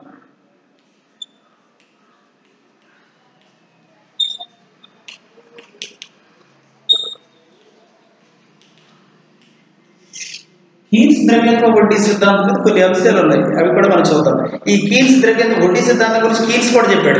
కీన్స్ ఉద్యోగ సిద్ధాంతం గురించి చెప్పాడు. వడ్డీ గురించి చెప్పాడు. ఎన్ SS of the employment and interest general theory of economics అనే ఒక బుక్ రాశాడు ఎయిటీన్ ఎయిటీ సిక్స్లో కీన్స్ తన గ్రంథంలో ఈ వడ్డీ సిద్ధాంతాన్ని కూడా వివరించడం జరిగింది. జీవిత సిద్ధాంతం గురించి చెప్పాడు? కీన్స్ వడ్డీ సిద్ధాంతం గురించి కూడా చెప్పారు అయితే కొంతమంది ఆర్థికవేత్తలు ఈ వడ్డీ సిద్ధాంతాన్ని తిరస్కరించడం అనేది మనం చూస్తున్నాం ఇందులో ఉన్నటువంటి అంశాలు కూడా ఇప్పుడు చూద్దాం.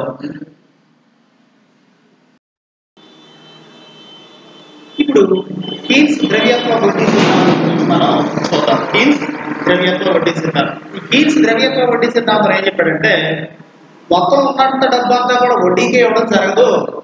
తన దగ్గర ఉన్నటువంటి డబ్బుని వాళ్ళ అవసరాల కోసం వాళ్ళ రోజువారీ జీవనం కొనసాగించడం కోసం తర్వాత వాళ్ళ జాగ్రత్త కోసం అధిక లాభోద్దేశం కోసం ఉంచుకుంటారు.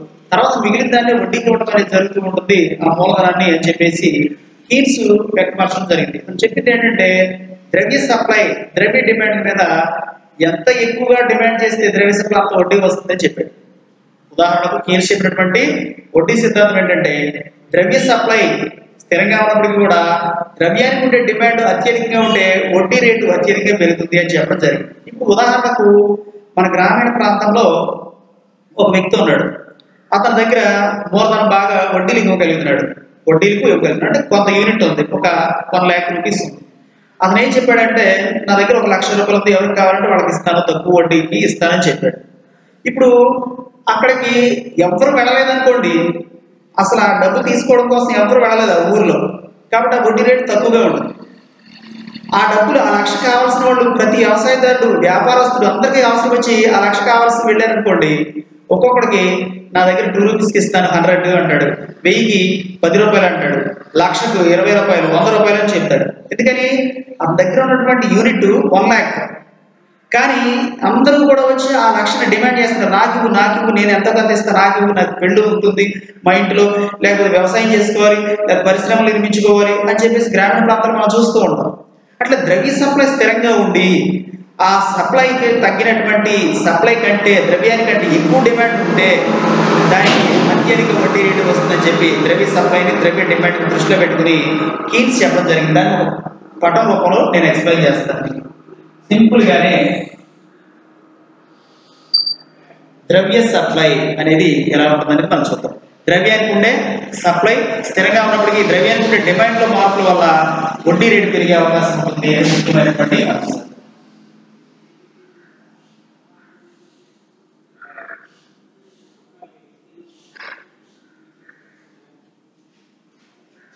చాలా జాగ్రత్తగా గుర్తుంచుకోవాలి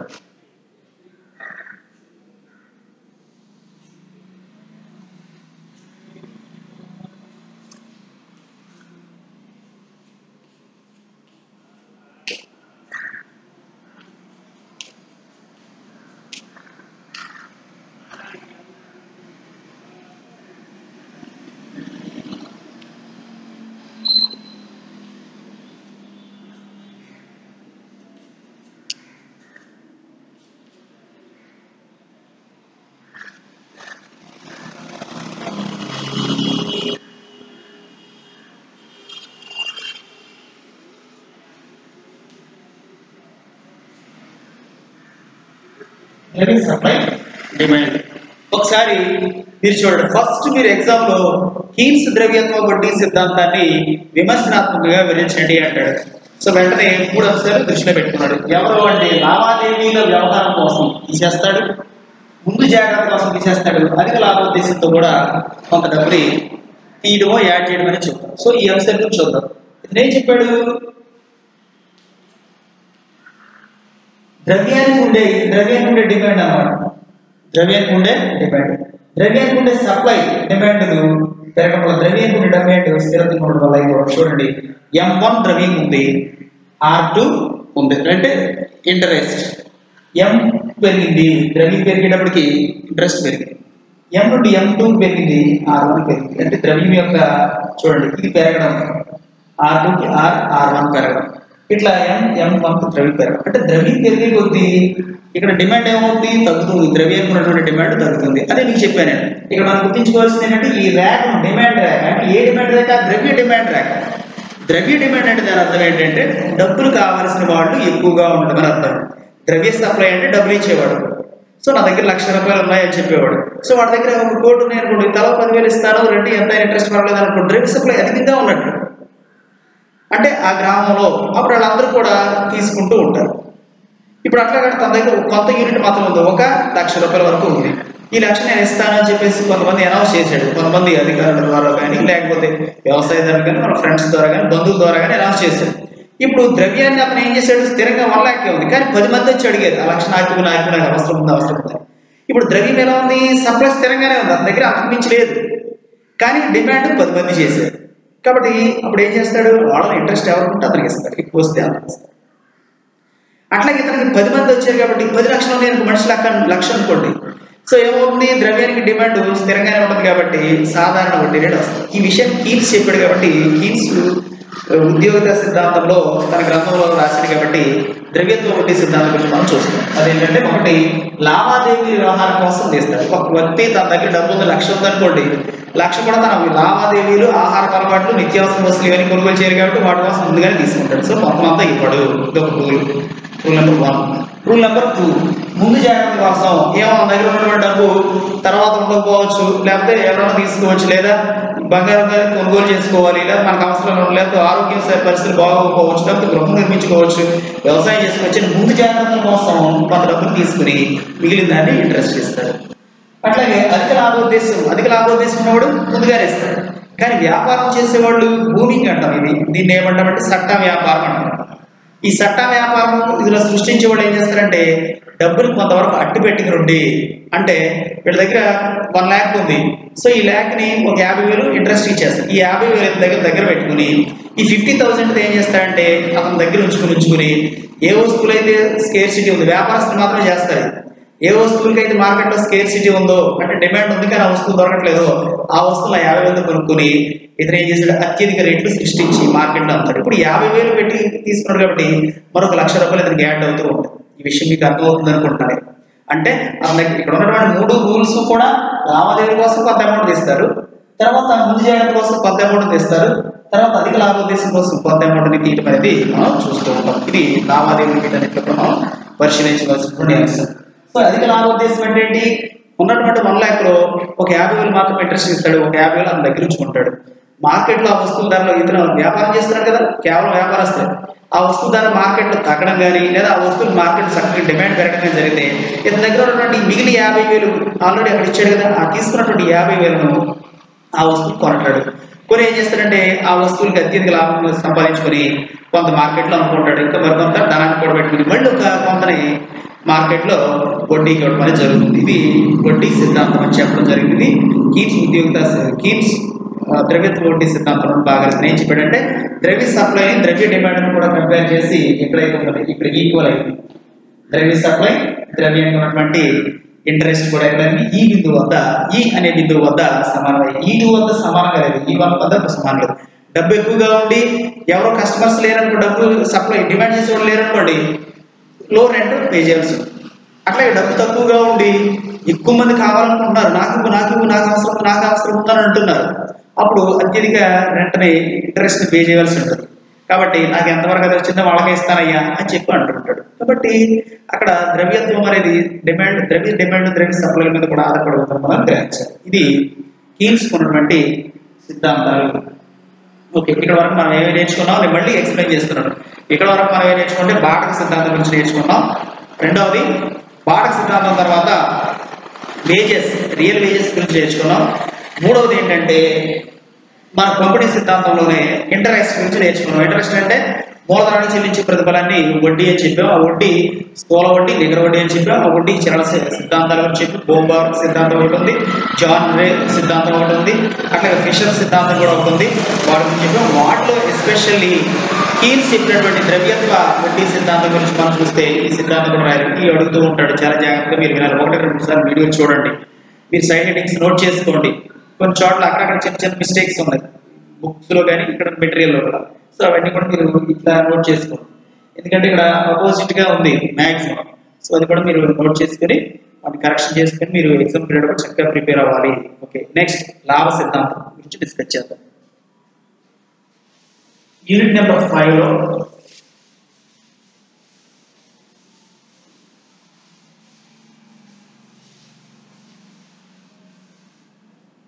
భూమి చెల్లించేది బాటకం శ్రామికుని చెల్లించేది వేతనం మూలధనానికి చెల్లించేది వడ్డీ. వ్యవస్థాపకులు వచ్చేది లాభం ఓకే. ఇది లాభం లాభచరణ సిద్ధాంతాలు కూడా మనకు కొన్ని ఉన్నాయి. వాటి గురించి కూడా మనం డిస్కస్ చేద్దాం. ఇవన్నీ unit number five distribution theory complete అయిన మనం చెప్పవచ్చు లాభ.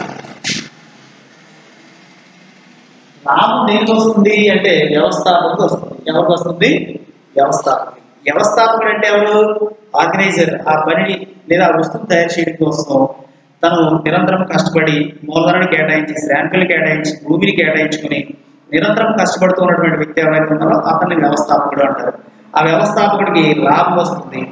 ఆ లాభం కూడా రెండు రకాలు ఉంది. నావచార సిద్ధాంతాలు ఐదు రకాలు ఉన్నాయి. వాటి నేను ఎక్స్ప్లెయిన్ చేస్తాను. హెచ్ వైట్ తర్వాత ఫిషర్ తర్వాత షుప్ పీటర్ తర్వాత జేఎం కీన్స్ మొదలైన వాళ్ళందరూ కూడా లాభచరణ సిద్ధాంతాల గురించి చెప్పారు. ఆ సిద్ధాంతాల గురించి చెప్పే ముందు కూడా లాభం అంటే ఏమిటి? లాభం ఎన్ని రకాలు చూస్తాం. అంటే వ్యవస్థాపనకు వచ్చే ప్రతిఫలాన్ని లాభం అంటాం ప్రాఫిట్ అంటాం. ఎవరికి వచ్చే ప్రతిఫలము? వ్యవస్థాపనకు వచ్చే ప్రతిఫలాన్ని లాభం అంటాం. వ్యవస్థాపన అంటే ఆర్గనైజేషన్ ఆర్గనైజర్ స్టార్ట్ చేసినటువంటి వ్యక్తులుగా ప్రొడ్యూసర్ అని కూడా చెప్పవచ్చు ఈ లాభాన్ని మనం రెండు రకాలుగా చెప్పవచ్చు ఒకటి స్థూల లాభం. స్థూల లాభం నికర లాభం అని రెండు రకాలుగా ఉంది. స్థూల లాభం నికర లాభం. Gross profit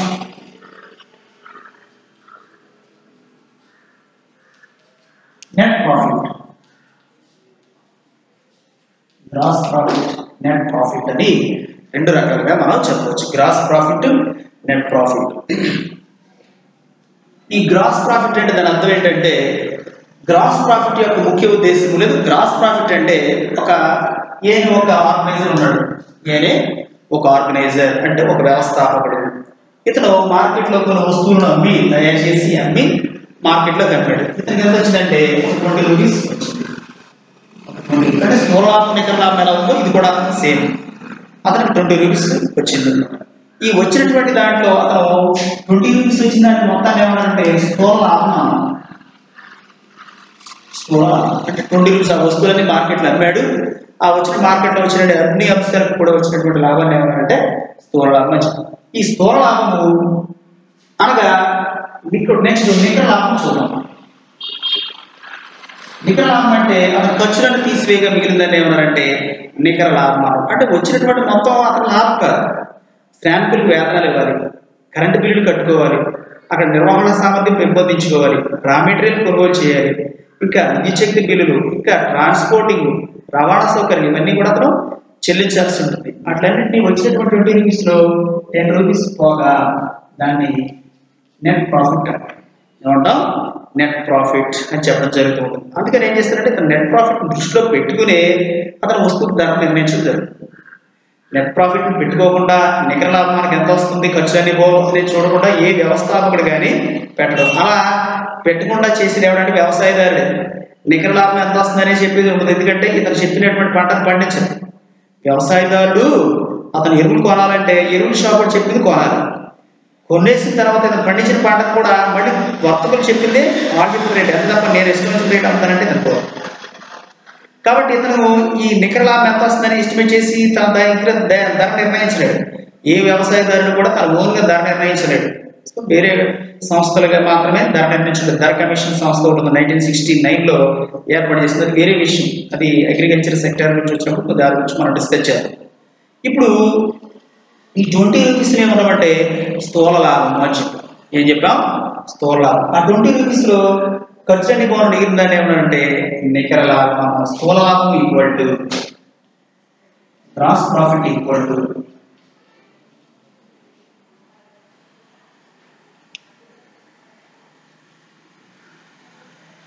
total profit gross profit equal to total profit net profit equal to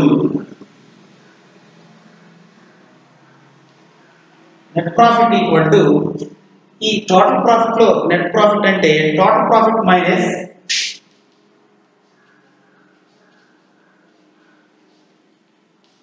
total profit minus expenditure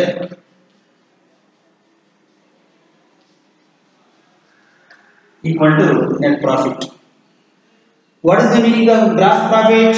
Total profit equal to gross profit. స్థూల లాభము.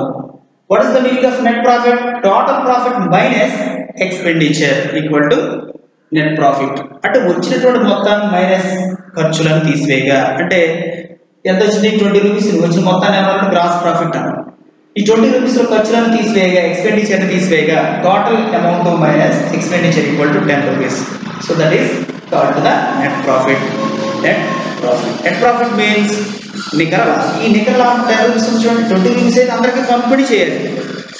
అక్కడ ఉన్నటువంటి శ్రామిక వర్గానికి కరెంటు బిల్లులు రా రా మెటీరియల్ కోసం మిషనరీస్ని యూజ్ చేసినందుకు కానీ కరెంటు బిల్లులు తర్వాత ఇంకా ఇతరత ఖర్చులన్నిటి కోసం ఆ ట్వంటీ రూపీస్ని ఉపయోగించారు వాటికి అన్ని ఖర్చులను తీసివేయగా ఎంత మిగులుతుంది అనమాట టెన్ ఏ మిగలొచ్చు ఫైవ్ ఏ మిగలొచ్చు అసలు మిగలకపోవచ్చు అట్లా మిగిలిన దాన్ని వన్ రూపీ మిగలొచ్చు నైన్టీన్ ఖర్చు అయ్యి ఆ వన్ రూపీని ఏమంటే నెట్ ప్రాఫిట్ ఆ నెట్ ప్రాఫిట్ని వ్యవస్థాపకుడు వేరే ఎవరికి ఇవ్వనవసరం లేదు అతని దగ్గరే ఉంచుకోవచ్చు ఓకే ఇది నెట్ ప్రాఫిట్ స్థూల లాభం నికర లాభం ఇప్పుడు లాభసేవల సిద్ధాంతం కొన్ని ఉన్నాయి వాటి గురించి మనం చూద్దాం ప్రాఫిట్ ఈజ్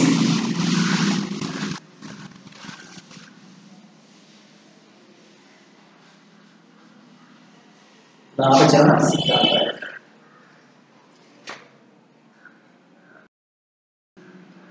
అలాగే మనం చూసినట్లయితే లాభ సిద్ధాంతాలు థిరీస్ ఆఫ్ ప్రాఫిట్స్ ఈ వైయక్తిక పంపిణీ కానీ విధులనుసరించి జరిగే పంపిణీలో కానీ మనం చూసినట్లయితే ఉత్పత్తి కారకాలు చెల్లించే ప్రతిఫలాన్ని కూడా మనము పంపిణీ సిద్ధాంతం అని చెప్పాము అందులో మనము భూమి చెల్లించే బాటకం బాటక సిద్ధాంతాలు శ్రామిక చెల్లించిన వ్యాధి వ్యాధుల యొక్క రకాలు మూలధనం చెల్లించే ప్రతిఫలం వడ్డీ వడ్డీలో ఉన్నటువంటి సిద్ధాంతాలు. అట్లాగే వ్యవస్థాపన చెల్లించే ప్రతిఫలం లాభము లేదా నష్టం వస్తుంది అయితే నష్టం సంగతి తర్వాత చూద్దాం. లాభాలు లాభం ఉన్నటువంటి మనం చూద్దాం. అయితే మనం చూసినట్లయితే ఈ లాభచరణ సిద్ధాంతాల గురించి మనం ఆలోచించినట్లయితే ఏ ఉత్పత్తిదారుడు కూడా నష్టాన్ని భరించడానికి ఇష్టపడడు. అంటే ఉత్పత్తిదారుడు తను తయారు చేసే ఒక మొబైల్స్ కంపెనీ ఉంది లేదా కంప్యూటర్స్ కంపెనీ ఉంది లేదా ఒక టీవీలు తయారు చేసే కంపెనీ ఉంటుంది ఎల్ఈడీలు తయారు చేసే కంపెనీ. ఆ ఎల్ఈడి తయారు చేసే కంపెనీలో ఉన్నటువంటి వ్యక్తి లాభాలు అత్యధికంగా రావాలని చూస్తాడా? నష్టాలు రావాలని చూస్తాడా?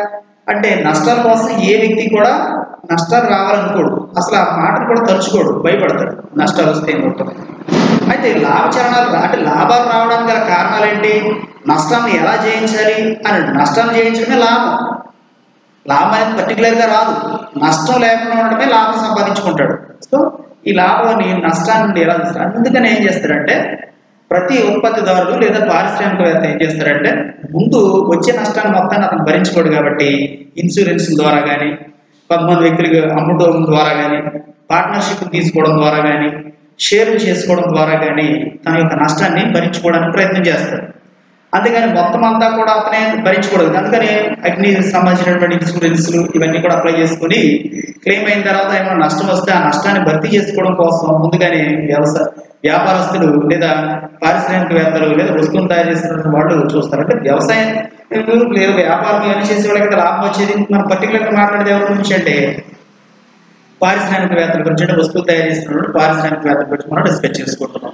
వాళ్ళకి వచ్చే లాభాలు ఏంటి? లాభచరణ సిద్ధాంతాలు ఏంటి? అని మనం చూస్తే ఫస్ట్ లాభాల బాటక సిద్ధాంతము. దీని గురించి చెప్పింది ఎవరంటే ఎఫ్ఏ వాటర్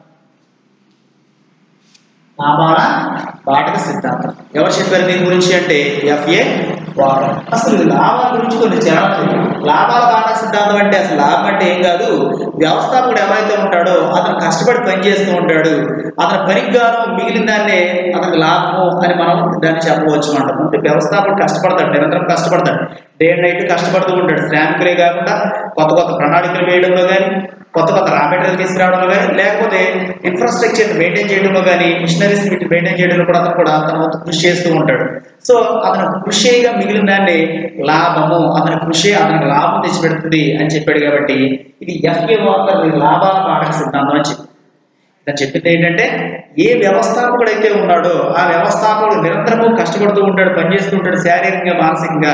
అందువల్ల అతను కష్టపడితే అతను మిగులుతూ ఉంది కాబట్టి దాన్ని మనము అతను లాభంగా చెప్పవచ్చు అన్న ఏ పారిశ్రామికవేత్త కానీ ఏ వ్యవస్థాపకుడు కానీ కష్టపడకుండా పని చేయకుండా లాభం అనేది రాదు. కాబట్టి అతని కష్టానికి ప్రతిఫలమే లాభము అని చెప్పాడు. ఎప్పుడో చెప్పిందంటే ఎఫ్ఏ వాకర్. ఎఫ్ఏ వాకర్ చెప్పినటువంటి అంశం లాభాల పాఠక సిద్ధాంతం గురించి మనం చూస్తున్నాం. లాభాల పాఠక సిద్ధాంతం గురించి చెప్పినటువంటి ఈ వ్యక్తి ఎవరు అంటే లాభాల పాఠక సిద్ధాంతి ఎఫ్ఏ వాకర్. తర్వాత లాభాల పాఠక సిద్ధాంతం కాసింగ్ లాభాల వేతన సిద్ధాంతం. ఇతను చెప్పింది ఏంటంటే టాసిక్ ఎక్కడైతే పని చేస్తూ ఉన్నారో చొరవ నైపుణ్యము ఇట్లాంటి ప్ర- ప్రదర్శించడం ద్వారా వచ్చే లాభాన్ని ఏమన్నారంటే వేతన సిద్ధాంతము అని చెప్పారు. ఇతను ఏం చేశారంటే వ్యవస్థాపన చేసే పనిపాటల వల్ల లాభం వేతన సిద్ధాంతం చెప్పింది ఎవరు అంటే టాసిక్. ఇతని మాటలు ఏమంటున్నాడంటే ఎక్కడైతే ఆర్థిక పరంగా అభివృద్ధి చెందుతో టెక్నాలజీ నైపుణ్యత ఇవన్నీ కూడా ఇంప్రూవ్ చేయడం వల్ల ఆ కంపెనీలు లేదా పరిశ్రమలు సబ్స్టిట్యూట్ చేయడం ద్వారా వచ్చే లాభాలను ఏమన్నామంటే లాభాల వేతన సిద్ధాంతం అన్నాం ప్రాఫిట్ వేజెస్ థియరీ అని చెప్పడం జరిగింది. ఎవరంటే టాసి అని చెప్పింది ఏంటంటే చొరవ ఎవరైతే అతను పనిచేస్తూ ఉన్నాడు ఇక్కడ ఏంటంటే చొరవ అనమాట డేర్ చేయడం ద్వారా వచ్చేటువంటి లాభం. అంటే మార్కెట్లో మరి మార్కెటింగ్ చేయాలంటే అతనికి చొరవ ఉండాలి నైపుణ్యం ఉండాలి స్కిల్స్ ఉండాలి ఇవన్నీ ఉండాలి కదా. వాటి ద్వారా వస్తుంది కాబట్టి అతనికి ఆ లాభం అక్కడ పెంపొందిస్తుంది. అంటే ఇక్కడ పని మానసికంగా కానీ శారీరకంగా పని చేయకపోయినా నైపుణ్యత కానీ చొరవ కానీ ప్రదర్శించకపోయినా లాభాలు రావాలని ఉద్దేశం. అర్థమవుతుందంటే లాభచరణ సిద్ధాంతం. అట్లాగే మనం చూసినట్లే నష్టమైన సిద్ధాంతం గురించి చూస్తున్నాం. లాభాల వాడక సిద్ధాంతము తర్వాత లాభాల వ్యాధన సిద్ధాంతము నష్టమైన లాభ సిద్ధాంతం గురించి మనం చూస్తే ఎఫ్బి హాలే. ఎఫ్ బి హాలే అనే అధిగత నష్టమయ లాభ సిద్ధాంతం గురించి చెప్పారు. ఎఫ్బి హాలే. నష్టమయ సిద్ధాంతం. ఈ నష్టమయ లాభ సిద్ధాంతం అంటే ఏంటి? నష్టాన్ని భరించకూడదు. నష్టం ఉంటే మనం అంటే ఏం చేయాలి? పరిశ్రమల్లో అగ్ని ప్రమాదాలు కానీ దొంగతనాలు కానీ లేకపోతే మిషనరీలు చెడిపోవడం కానీ లేకపోతే ఇతరత్ర లుప్తత లుప్తత అంటే సిక్ అయిపోవడం. అంటే ఏంటి? ఉత్పత్తి లేకపోవడం మార్కెట్లో ఆ వస్తువు డిమాండ్ లేకపోవడం అలా దివాళా వచ్చేయడం కానీ ఇట్లాంటివి ఏమైనా వస్తే మూతపడిపోతుంది. కాబట్టి అటువంటి వాటిని మనం జయించుకోవాలి వాటిని రాకుండా చూసుకోవాలి. ఒకసారి వచ్చాయంటే దాదాపుగా దీర్ఘకాలం పాటు మళ్ళీ తిరిగిపోలేవు దా- నష్టం కంటిన్యూ అవుతూనే ఉంటుంది. కాబట్టి లాభచరణ సిద్ధాంతం ఇటువంటి వాటిని రాకుండా చూసుకోగలిగితే అదే లాభము అని చెప్పిన ఎవరంటే ఎఫ్బి హాలే చెప్పినటువంటి సిద్ధాంతం. చూడండి లాభాల సిద్ధాంతం లేదా లాభాల బాధ సిద్ధాంతం. ఎఫ్ఏ వాకర్ లాభాల వేతన సిద్ధాంతంలో. టాసిక్ తర్వాత నష్టభయము లాభ సిద్ధాంతం ఎంపి హాలే అనిశ్చిత లాభ సిద్ధాంతము. మనము ఎఫ్ఏ వాకర్ టాసిక్ ఎఫ్బి హాలే లాభ. తర్వాత అనిశ్చిత లాభ సిద్ధాంతం ఎఫ్హెచ్ నైట్ మనకి చెప్తున్నాడు? FH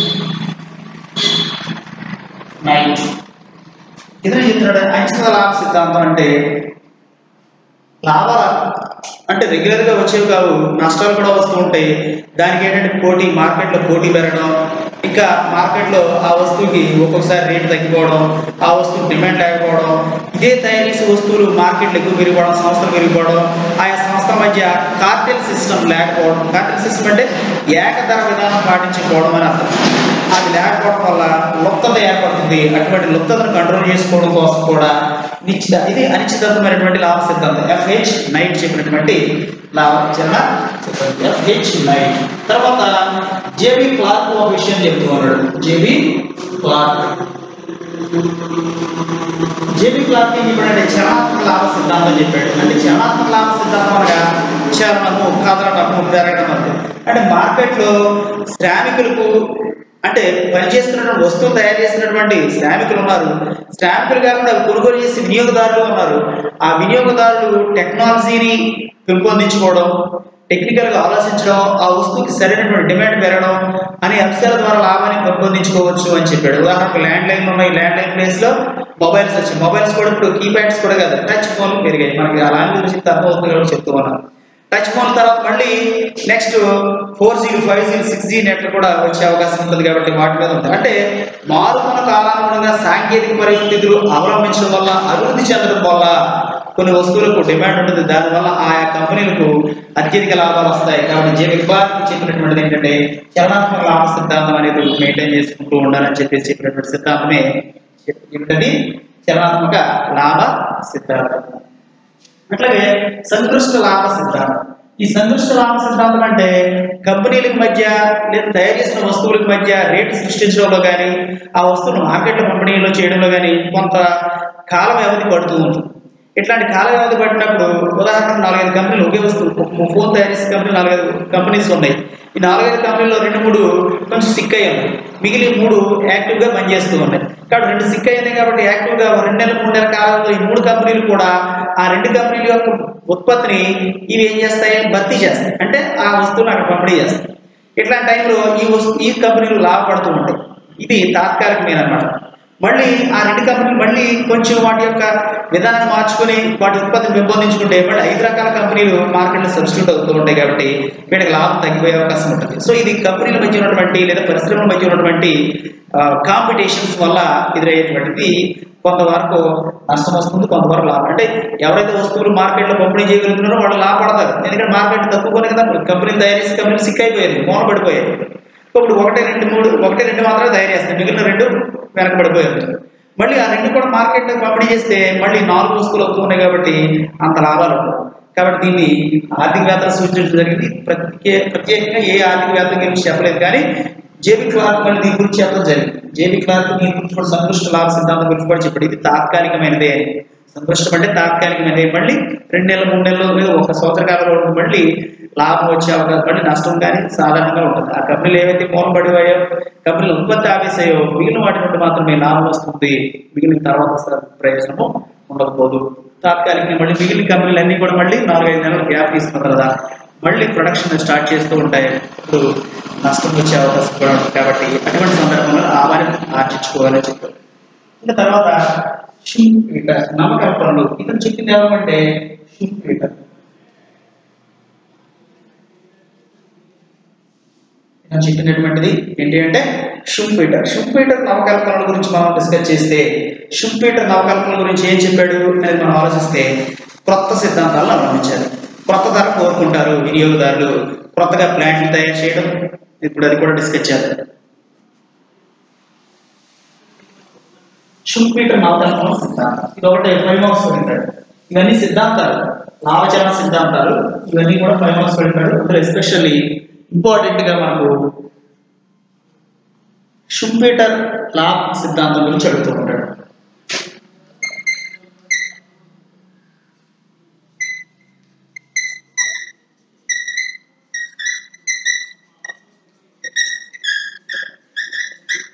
Into the theory of profit Schumpeter theory of profit ఈ షుంపీటర్ థియరీ ఆఫ్ ప్రాఫిట్ ఏం చెప్పాడంటే నవకల్పనలో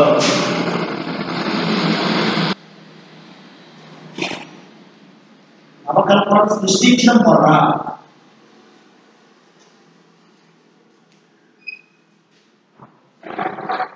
లాభం వస్తుంది. నవకల్పనను సృష్టించడం వల్ల లాభం వస్తుంది. నవకల్పనను సృష్టించడం వల్ల లాభం వస్తుంది.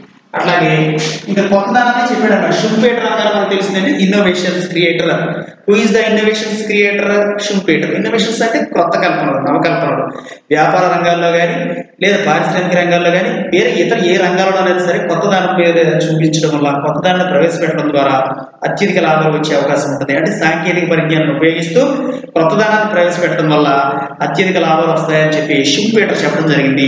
ఈ షుంపేటర్ చెప్పినటువంటి లాభశీల సిద్ధాంతాల్లో నవకల్పన సృష్టించడం వల్ల లాభం వస్తుంది చాలా అంశాలు చెప్పాడు కొత్త ప్లాంట్లు నిర్మాణం కొత్త ప్లాంట్లు నిర్మించడం. తర్వాత కొత్త వస్తువులు తయారు చేయడం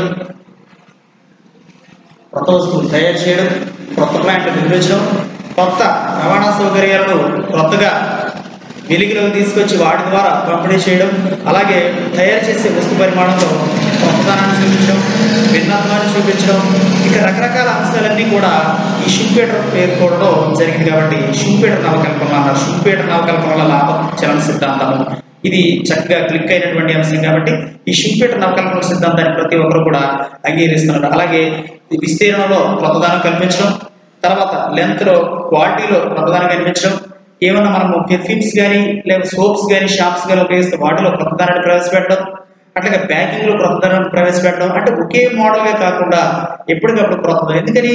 ప్రజల యొక్క అభిరుచులు అలవాట్లు అనుగుణాలకు అనుగుణంగా ఉండే విధంగా చర్యలు తీసుకోవడము క్రొత్తగా తయారు చేయడము మ్యానుఫ్యాక్చరింగ్ చేయడము అనే కొత్త కొత్త కల్పనలు కొత్త కొత్త ఆలోచనలు వినియోగ స్థాయిని పెంపొందించడం వల్ల మార్కెట్లో ఆ వస్తువులను పంపిణీ చేయడం వల్ల అత్యధిక లాభాలు వచ్చే అవకాశం ఉంటుందని చెప్పి షుంపేటర్ పేర్కొనడం జరిగింది. ఇది షుంపేటర్ నవకల్పన సిద్ధాంతం లేదా షుంపేటర్ లాభచరణ సిద్ధాంతము. ఈ షుంపేటర్ లాభచరణ సిద్ధాంతం F A H Clark F A తర్వాత క్లార్క్ జెవిసే మొదలైనటువంటి వాళ్ళు అందరూ కూడా ఈ లాభచరణ సిద్ధాంతాల గురించి మనం చూడడం జరిగింది. ఈ లాభచరణ సిద్ధాంతం షుంపేటర్ నవకల్పన సిద్ధాంతం. నవకల్పన క్రొత్తగా ప్లాంట్ ఏర్పాటు చేయడం క్రొత్త వస్తువులు తయారు చేయడం కొత్తగా మార్కెటింగ్ చేయడం మార్కెటింగ్ విధానంలో కొత్తదనాన్ని తీసుకురావడం వస్తువు తయారు చేయడంలో కానీ వస్తువు రూపురేఖలు మార్చడంలో కొత్తదనాన్ని సృష్టించడం వస్తువుని మార్కెటింగ్లో చేసేటప్పుడు కూడా కొత్తదనాన్ని సృష్టించడం చూస్తాం. మనం టీవీలో యాడ్స్లో ఇవన్నీ చూసినట్లయితే ఒక వస్తువుని డిఫరెంట్ డిఫరెంట్ టైప్స్గా చూపిస్తూ ఉంటారు. వాటిని కొత్తదనం అంటాం. అంటే ఆ వస్తువు ఉపయోగించేది. చాలా సోపులు ఉన్నాయి. స్నానం చేయడం కోసం. ఏ ఒకరికి అందరూ ఒకే సోప్ ఉపయోగించవచ్చు కదా? అందరికి వాడికి పనిచేసినటువంటి వర్క్ చేసినటువంటి సోప్ వీడికి ఎందుకు పనిచేయదు వాడు పనిచేసినటువంటి షాంపు వీడికి ఎందుకు పనిచేయదు అంటే వ్యక్తి యొక్క ఆలోచనలు వ్యక్తిగత ఆ, అభిప్రాయాలు వాళ్ళ యొక్క విధి విధానాలు ఆలోచనలు శక్తి సరళి ఇవన్నీ కూడా మనం ప్రభావితం చేస్తాయి కాబట్టి షుంపేటర్ వాళ్ళని బట్టి క్యాచ్ చేసుకున్న లాభజనాన్ని సంపాదించుకోవాలని చెప్పినటువంటి సిద్ధాంతం ఏంటంటే షుంపేటర్ నవకల్పనల సిద్ధాంతం అనేది మనము ఈ చూస్తుంది ఇది లాభచరణ సిద్ధాంతం. లాభచరణ సిద్ధాంతంలో ఏమేమి చూసాం మనము? లాభచరణ సిద్ధాంతంలో సిద్ధాంతాలు చూసాం. షుంపేటర్ నవకల్పన విధానాన్ని కూడా మనము చూసాం. ఈ లెసన్ మనం నేర్చుకున్నది ఏంటి అంటే బాటకం అంటే ఏంటి? బాటకం రకాలు శ్రమ శ్రమకు వచ్చే వేతనాలు వడ్డీ వడ్డీలో ఉన్నటువంటి సిద్ధాంతాలు. అట్లాగే కీన్స్ ద్రవ్యత్వాభిరుచిలో వడ్డీ సిద్ధాంతం గురించి వివరించడం వడ్డీలో ఉన్నటువంటి సిద్ధాంతాలు లాభచరణ సిద్ధాంతము. అట్లాగే కీన్స్ చెప్పినటువంటి ద్రవ్య సప్లై ద్రవ్య డిమాండ్ గురించి కూడా మనం డిస్కస్ చేయడం జరిగింది. అట్లాగే మనకి ఇంకా చిన్న టాపిక్ కూడా ఉంది. ఈ టాపిక్ కూడా మనకి అయిపోతే కంప్లీట్గా అవుతుంది. చిన్న టాపిక్ మనం చూద్దాం. అది ఏంటంటే ద్రవ్యత్వ లోటు. ద్రవ్యత్వ లోటు. చూపెట్టు లాభ సిద్ధాంతం ఉంది కదా ద్రవ్యత్వ లోటు అనేది ఉంది. ద్రవ్యం అనేది లోటు ఎలా ఏర్పడుతుంది? ఆ లోటును భర్తీ చేయడం కోసం ప్రభుత్వం కానీ ప్రైవేట్ సెక్టర్ కానీ ఏం చేస్తున్నాం అనేసి కూడా మనము డిస్కస్ చేద్దాం.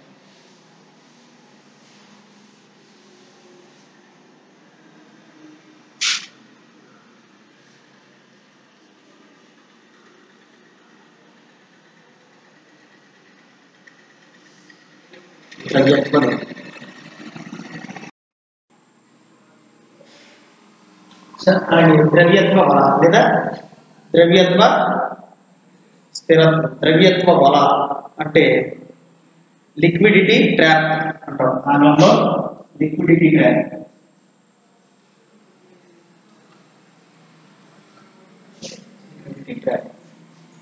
ఇది చిన్న క్వశ్చన్ చిన్న పాయింట్ ఇది మనం అందరం అర్థం చేసుకుంటే ఈ ఫైవ్ మార్క్స్ వచ్చే అవకాశం ఉంటుంది ద్రవ్యత్వ బల అసలు ద్రవ్యత్వ అంటే ఏంటి?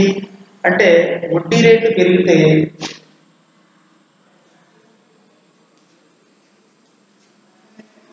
వడ్డీ రేట్లు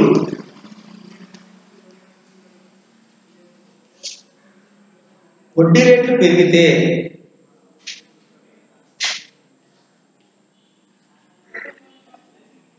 వడ్డీ రేట్లు పెరిగితే ప్రజలు వద్ద ద్రవ్య వాళ్ళు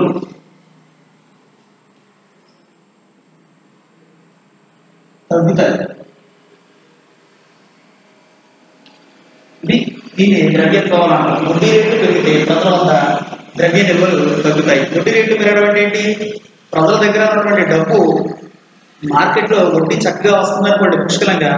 వాళ్ళ దగ్గర ఉన్నటువంటి డబ్బులు మొత్తాన్ని కూడా వడ్డీలు ఇచ్చుకుంటారు.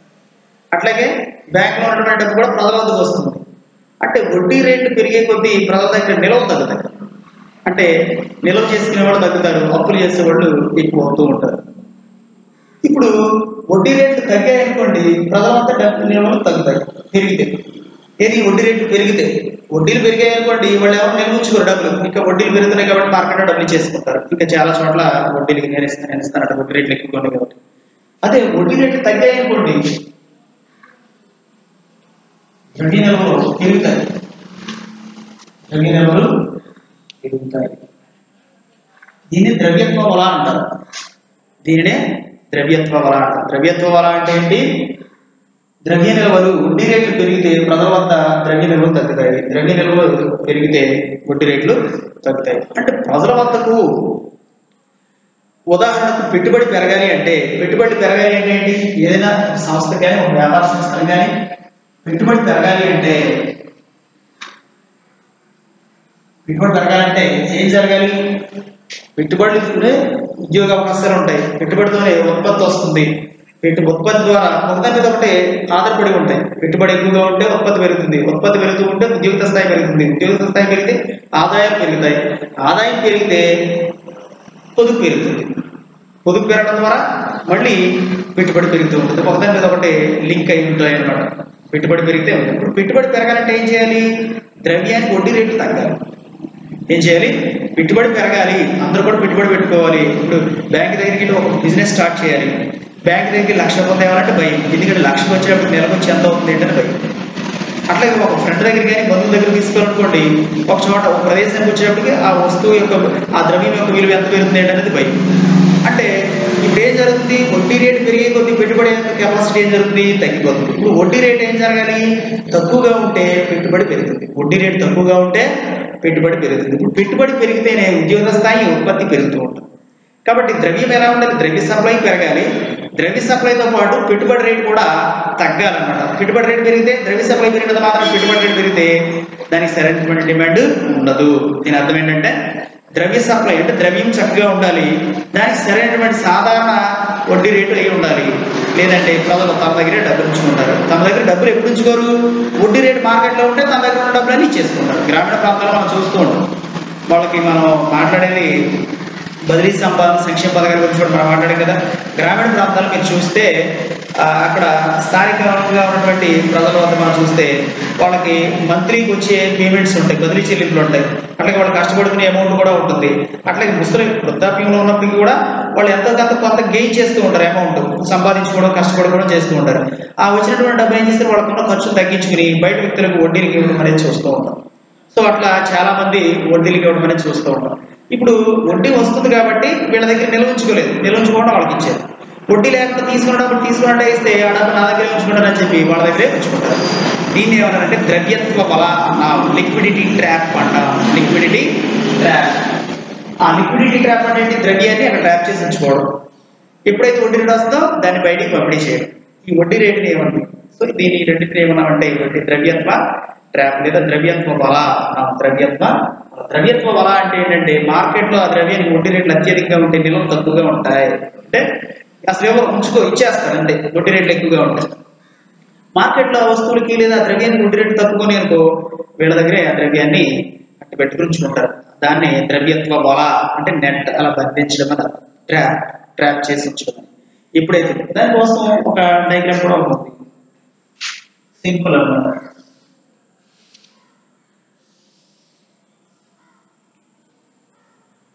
ద్రవ్యత్వ.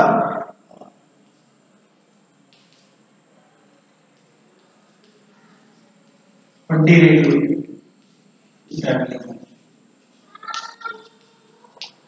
ఇక్కడ ద్రవ్యం ఎం ఎంఆర్పి పెరిగినా సరే ద్రవ్యత్వ వడ్డీ రేటు మాత్రం స్థిరంగా ఉంది. కాబట్టి నిల్వలు కూడా స్థిరంగా ఉంటాయి. ఒకటే మనం గుర్తుంచుకోవాలి. అదేంటంటే ఎక్కడైతే మార్కెట్లో మూలధనానికి వడ్డీలు ఎక్కువగా ఉన్నాయో ప్రజల వద్ద ద్రవ్యం ఉంచుకోరు ఉంచేస్తారు ఎక్కువ వడ్డీ వస్తుందని నిల్వలు ఉంటారు. ఎక్కడైతే మార్కెట్ తక్కువగా ఉందో వడ్డీ రేట్లు ద్రవ్యానికి వీళ్ళ దగ్గర నిల్వలు అలా ఉంచుకుంటారు. ఇప్పుడు ఎంతో కొంత వస్తుంది అని చెప్పుకుని ఇచ్చేవాళ్ళు ఉంటారు ఇప్పుడు వడ్డీ రేటు పెరిగితే నిల్వలు ఏం జరుగుతాయి? గుర్తుపెట్టుకోరు.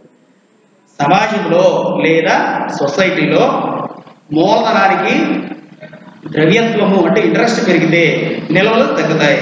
అంటే నిల్వ మొత్తం అటు ఇచ్చేస్తారు. అక్కడ ఇంట్రెస్ట్ కానీ తగ్గిందనుకో నిల్వలు ఇక్కడ పెరుగుతాయి. అక్కడ ఇంట్రెస్ట్ తగ్గితే ఇక్కడ నిల్వలు ఇలా పెరుగుతాయి. అక్కడ ఇంట్రెస్ట్ పెరిగిందనుకో సొసైటీలో అంటే వడ్డీ పెరిగిందనుకోండి వచ్చే డబ్బులకి వచ్చిన డబ్బులు మొత్తాన్ని ఎలా రెండు ఇంబ్యాలెన్స్డ్గా ఉంటాయి. అది మనం చూస్తూ ఉంటాం దీన్ని ద్రవ్యత్వ బల అంటాం. ద్రవ్యత్వ బల అంటే మనీ ట్రాపింగ్ అని చెప్పడం జరుగుతుంది మనీ ట్రాపింగ్. ఇది మనం డిస్కస్ చేయవలసినటువంటి అంశాలు. ఇప్పటివరకు మనం నేర్చుకున్నటువంటి అంశాలన్నింటిలో కూడా ప్రధానమైనది ఏంటంటే వైయక్తిక డిమాండ్. తర్వాత సో ఇందులో వచ్చే ఇంపార్టెంట్ క్వశ్చన్స్ కూడా నేను మీకు చెప్పాను. ఆ ఇంపార్టెంట్ క్వశ్చన్స్ కూడా నేను బోర్డు మీద రాస్తాను. మీరు చూడండి. ఇంతటితో ఈ క్లాస్ మనం ఎనఫ్ అన్నమాట మీకు ఫోర్త్ యూనిట్ ఫిఫ్త్ యూనిట్ కూడా కంప్లీట్గా క్లోజ్ అయింది. వైయక్తిక డిమాండ్. విజిలెన్స్ జరిగే డిమాండ్. పంపిణీ వాటి గురించి కూడా మనం డిస్కస్ చేయడం అనేది జరిగింది. ప్రీవియస్ క్లాస్ ప్రీవియస్ వీడియోస్ కూడా మీరు చూడండి. ఎక్కువ లెంత్ ఉన్నా సరే ఓపిక చూడండి. ఇక్కడతో మనం కంప్లీట్ చేసుకోవచ్చు. మీకు ఇంపార్టెంట్ క్వశ్చన్స్ కూడా నేను మీకు ఆన్లైన్లో అంటే గ్రూప్లో పెట్టడం జరిగింది. సో ఆల్ ది బెస్ట్ అందరూ కూడా ఆ ఎగ్జామ్ రాయాలి. All the best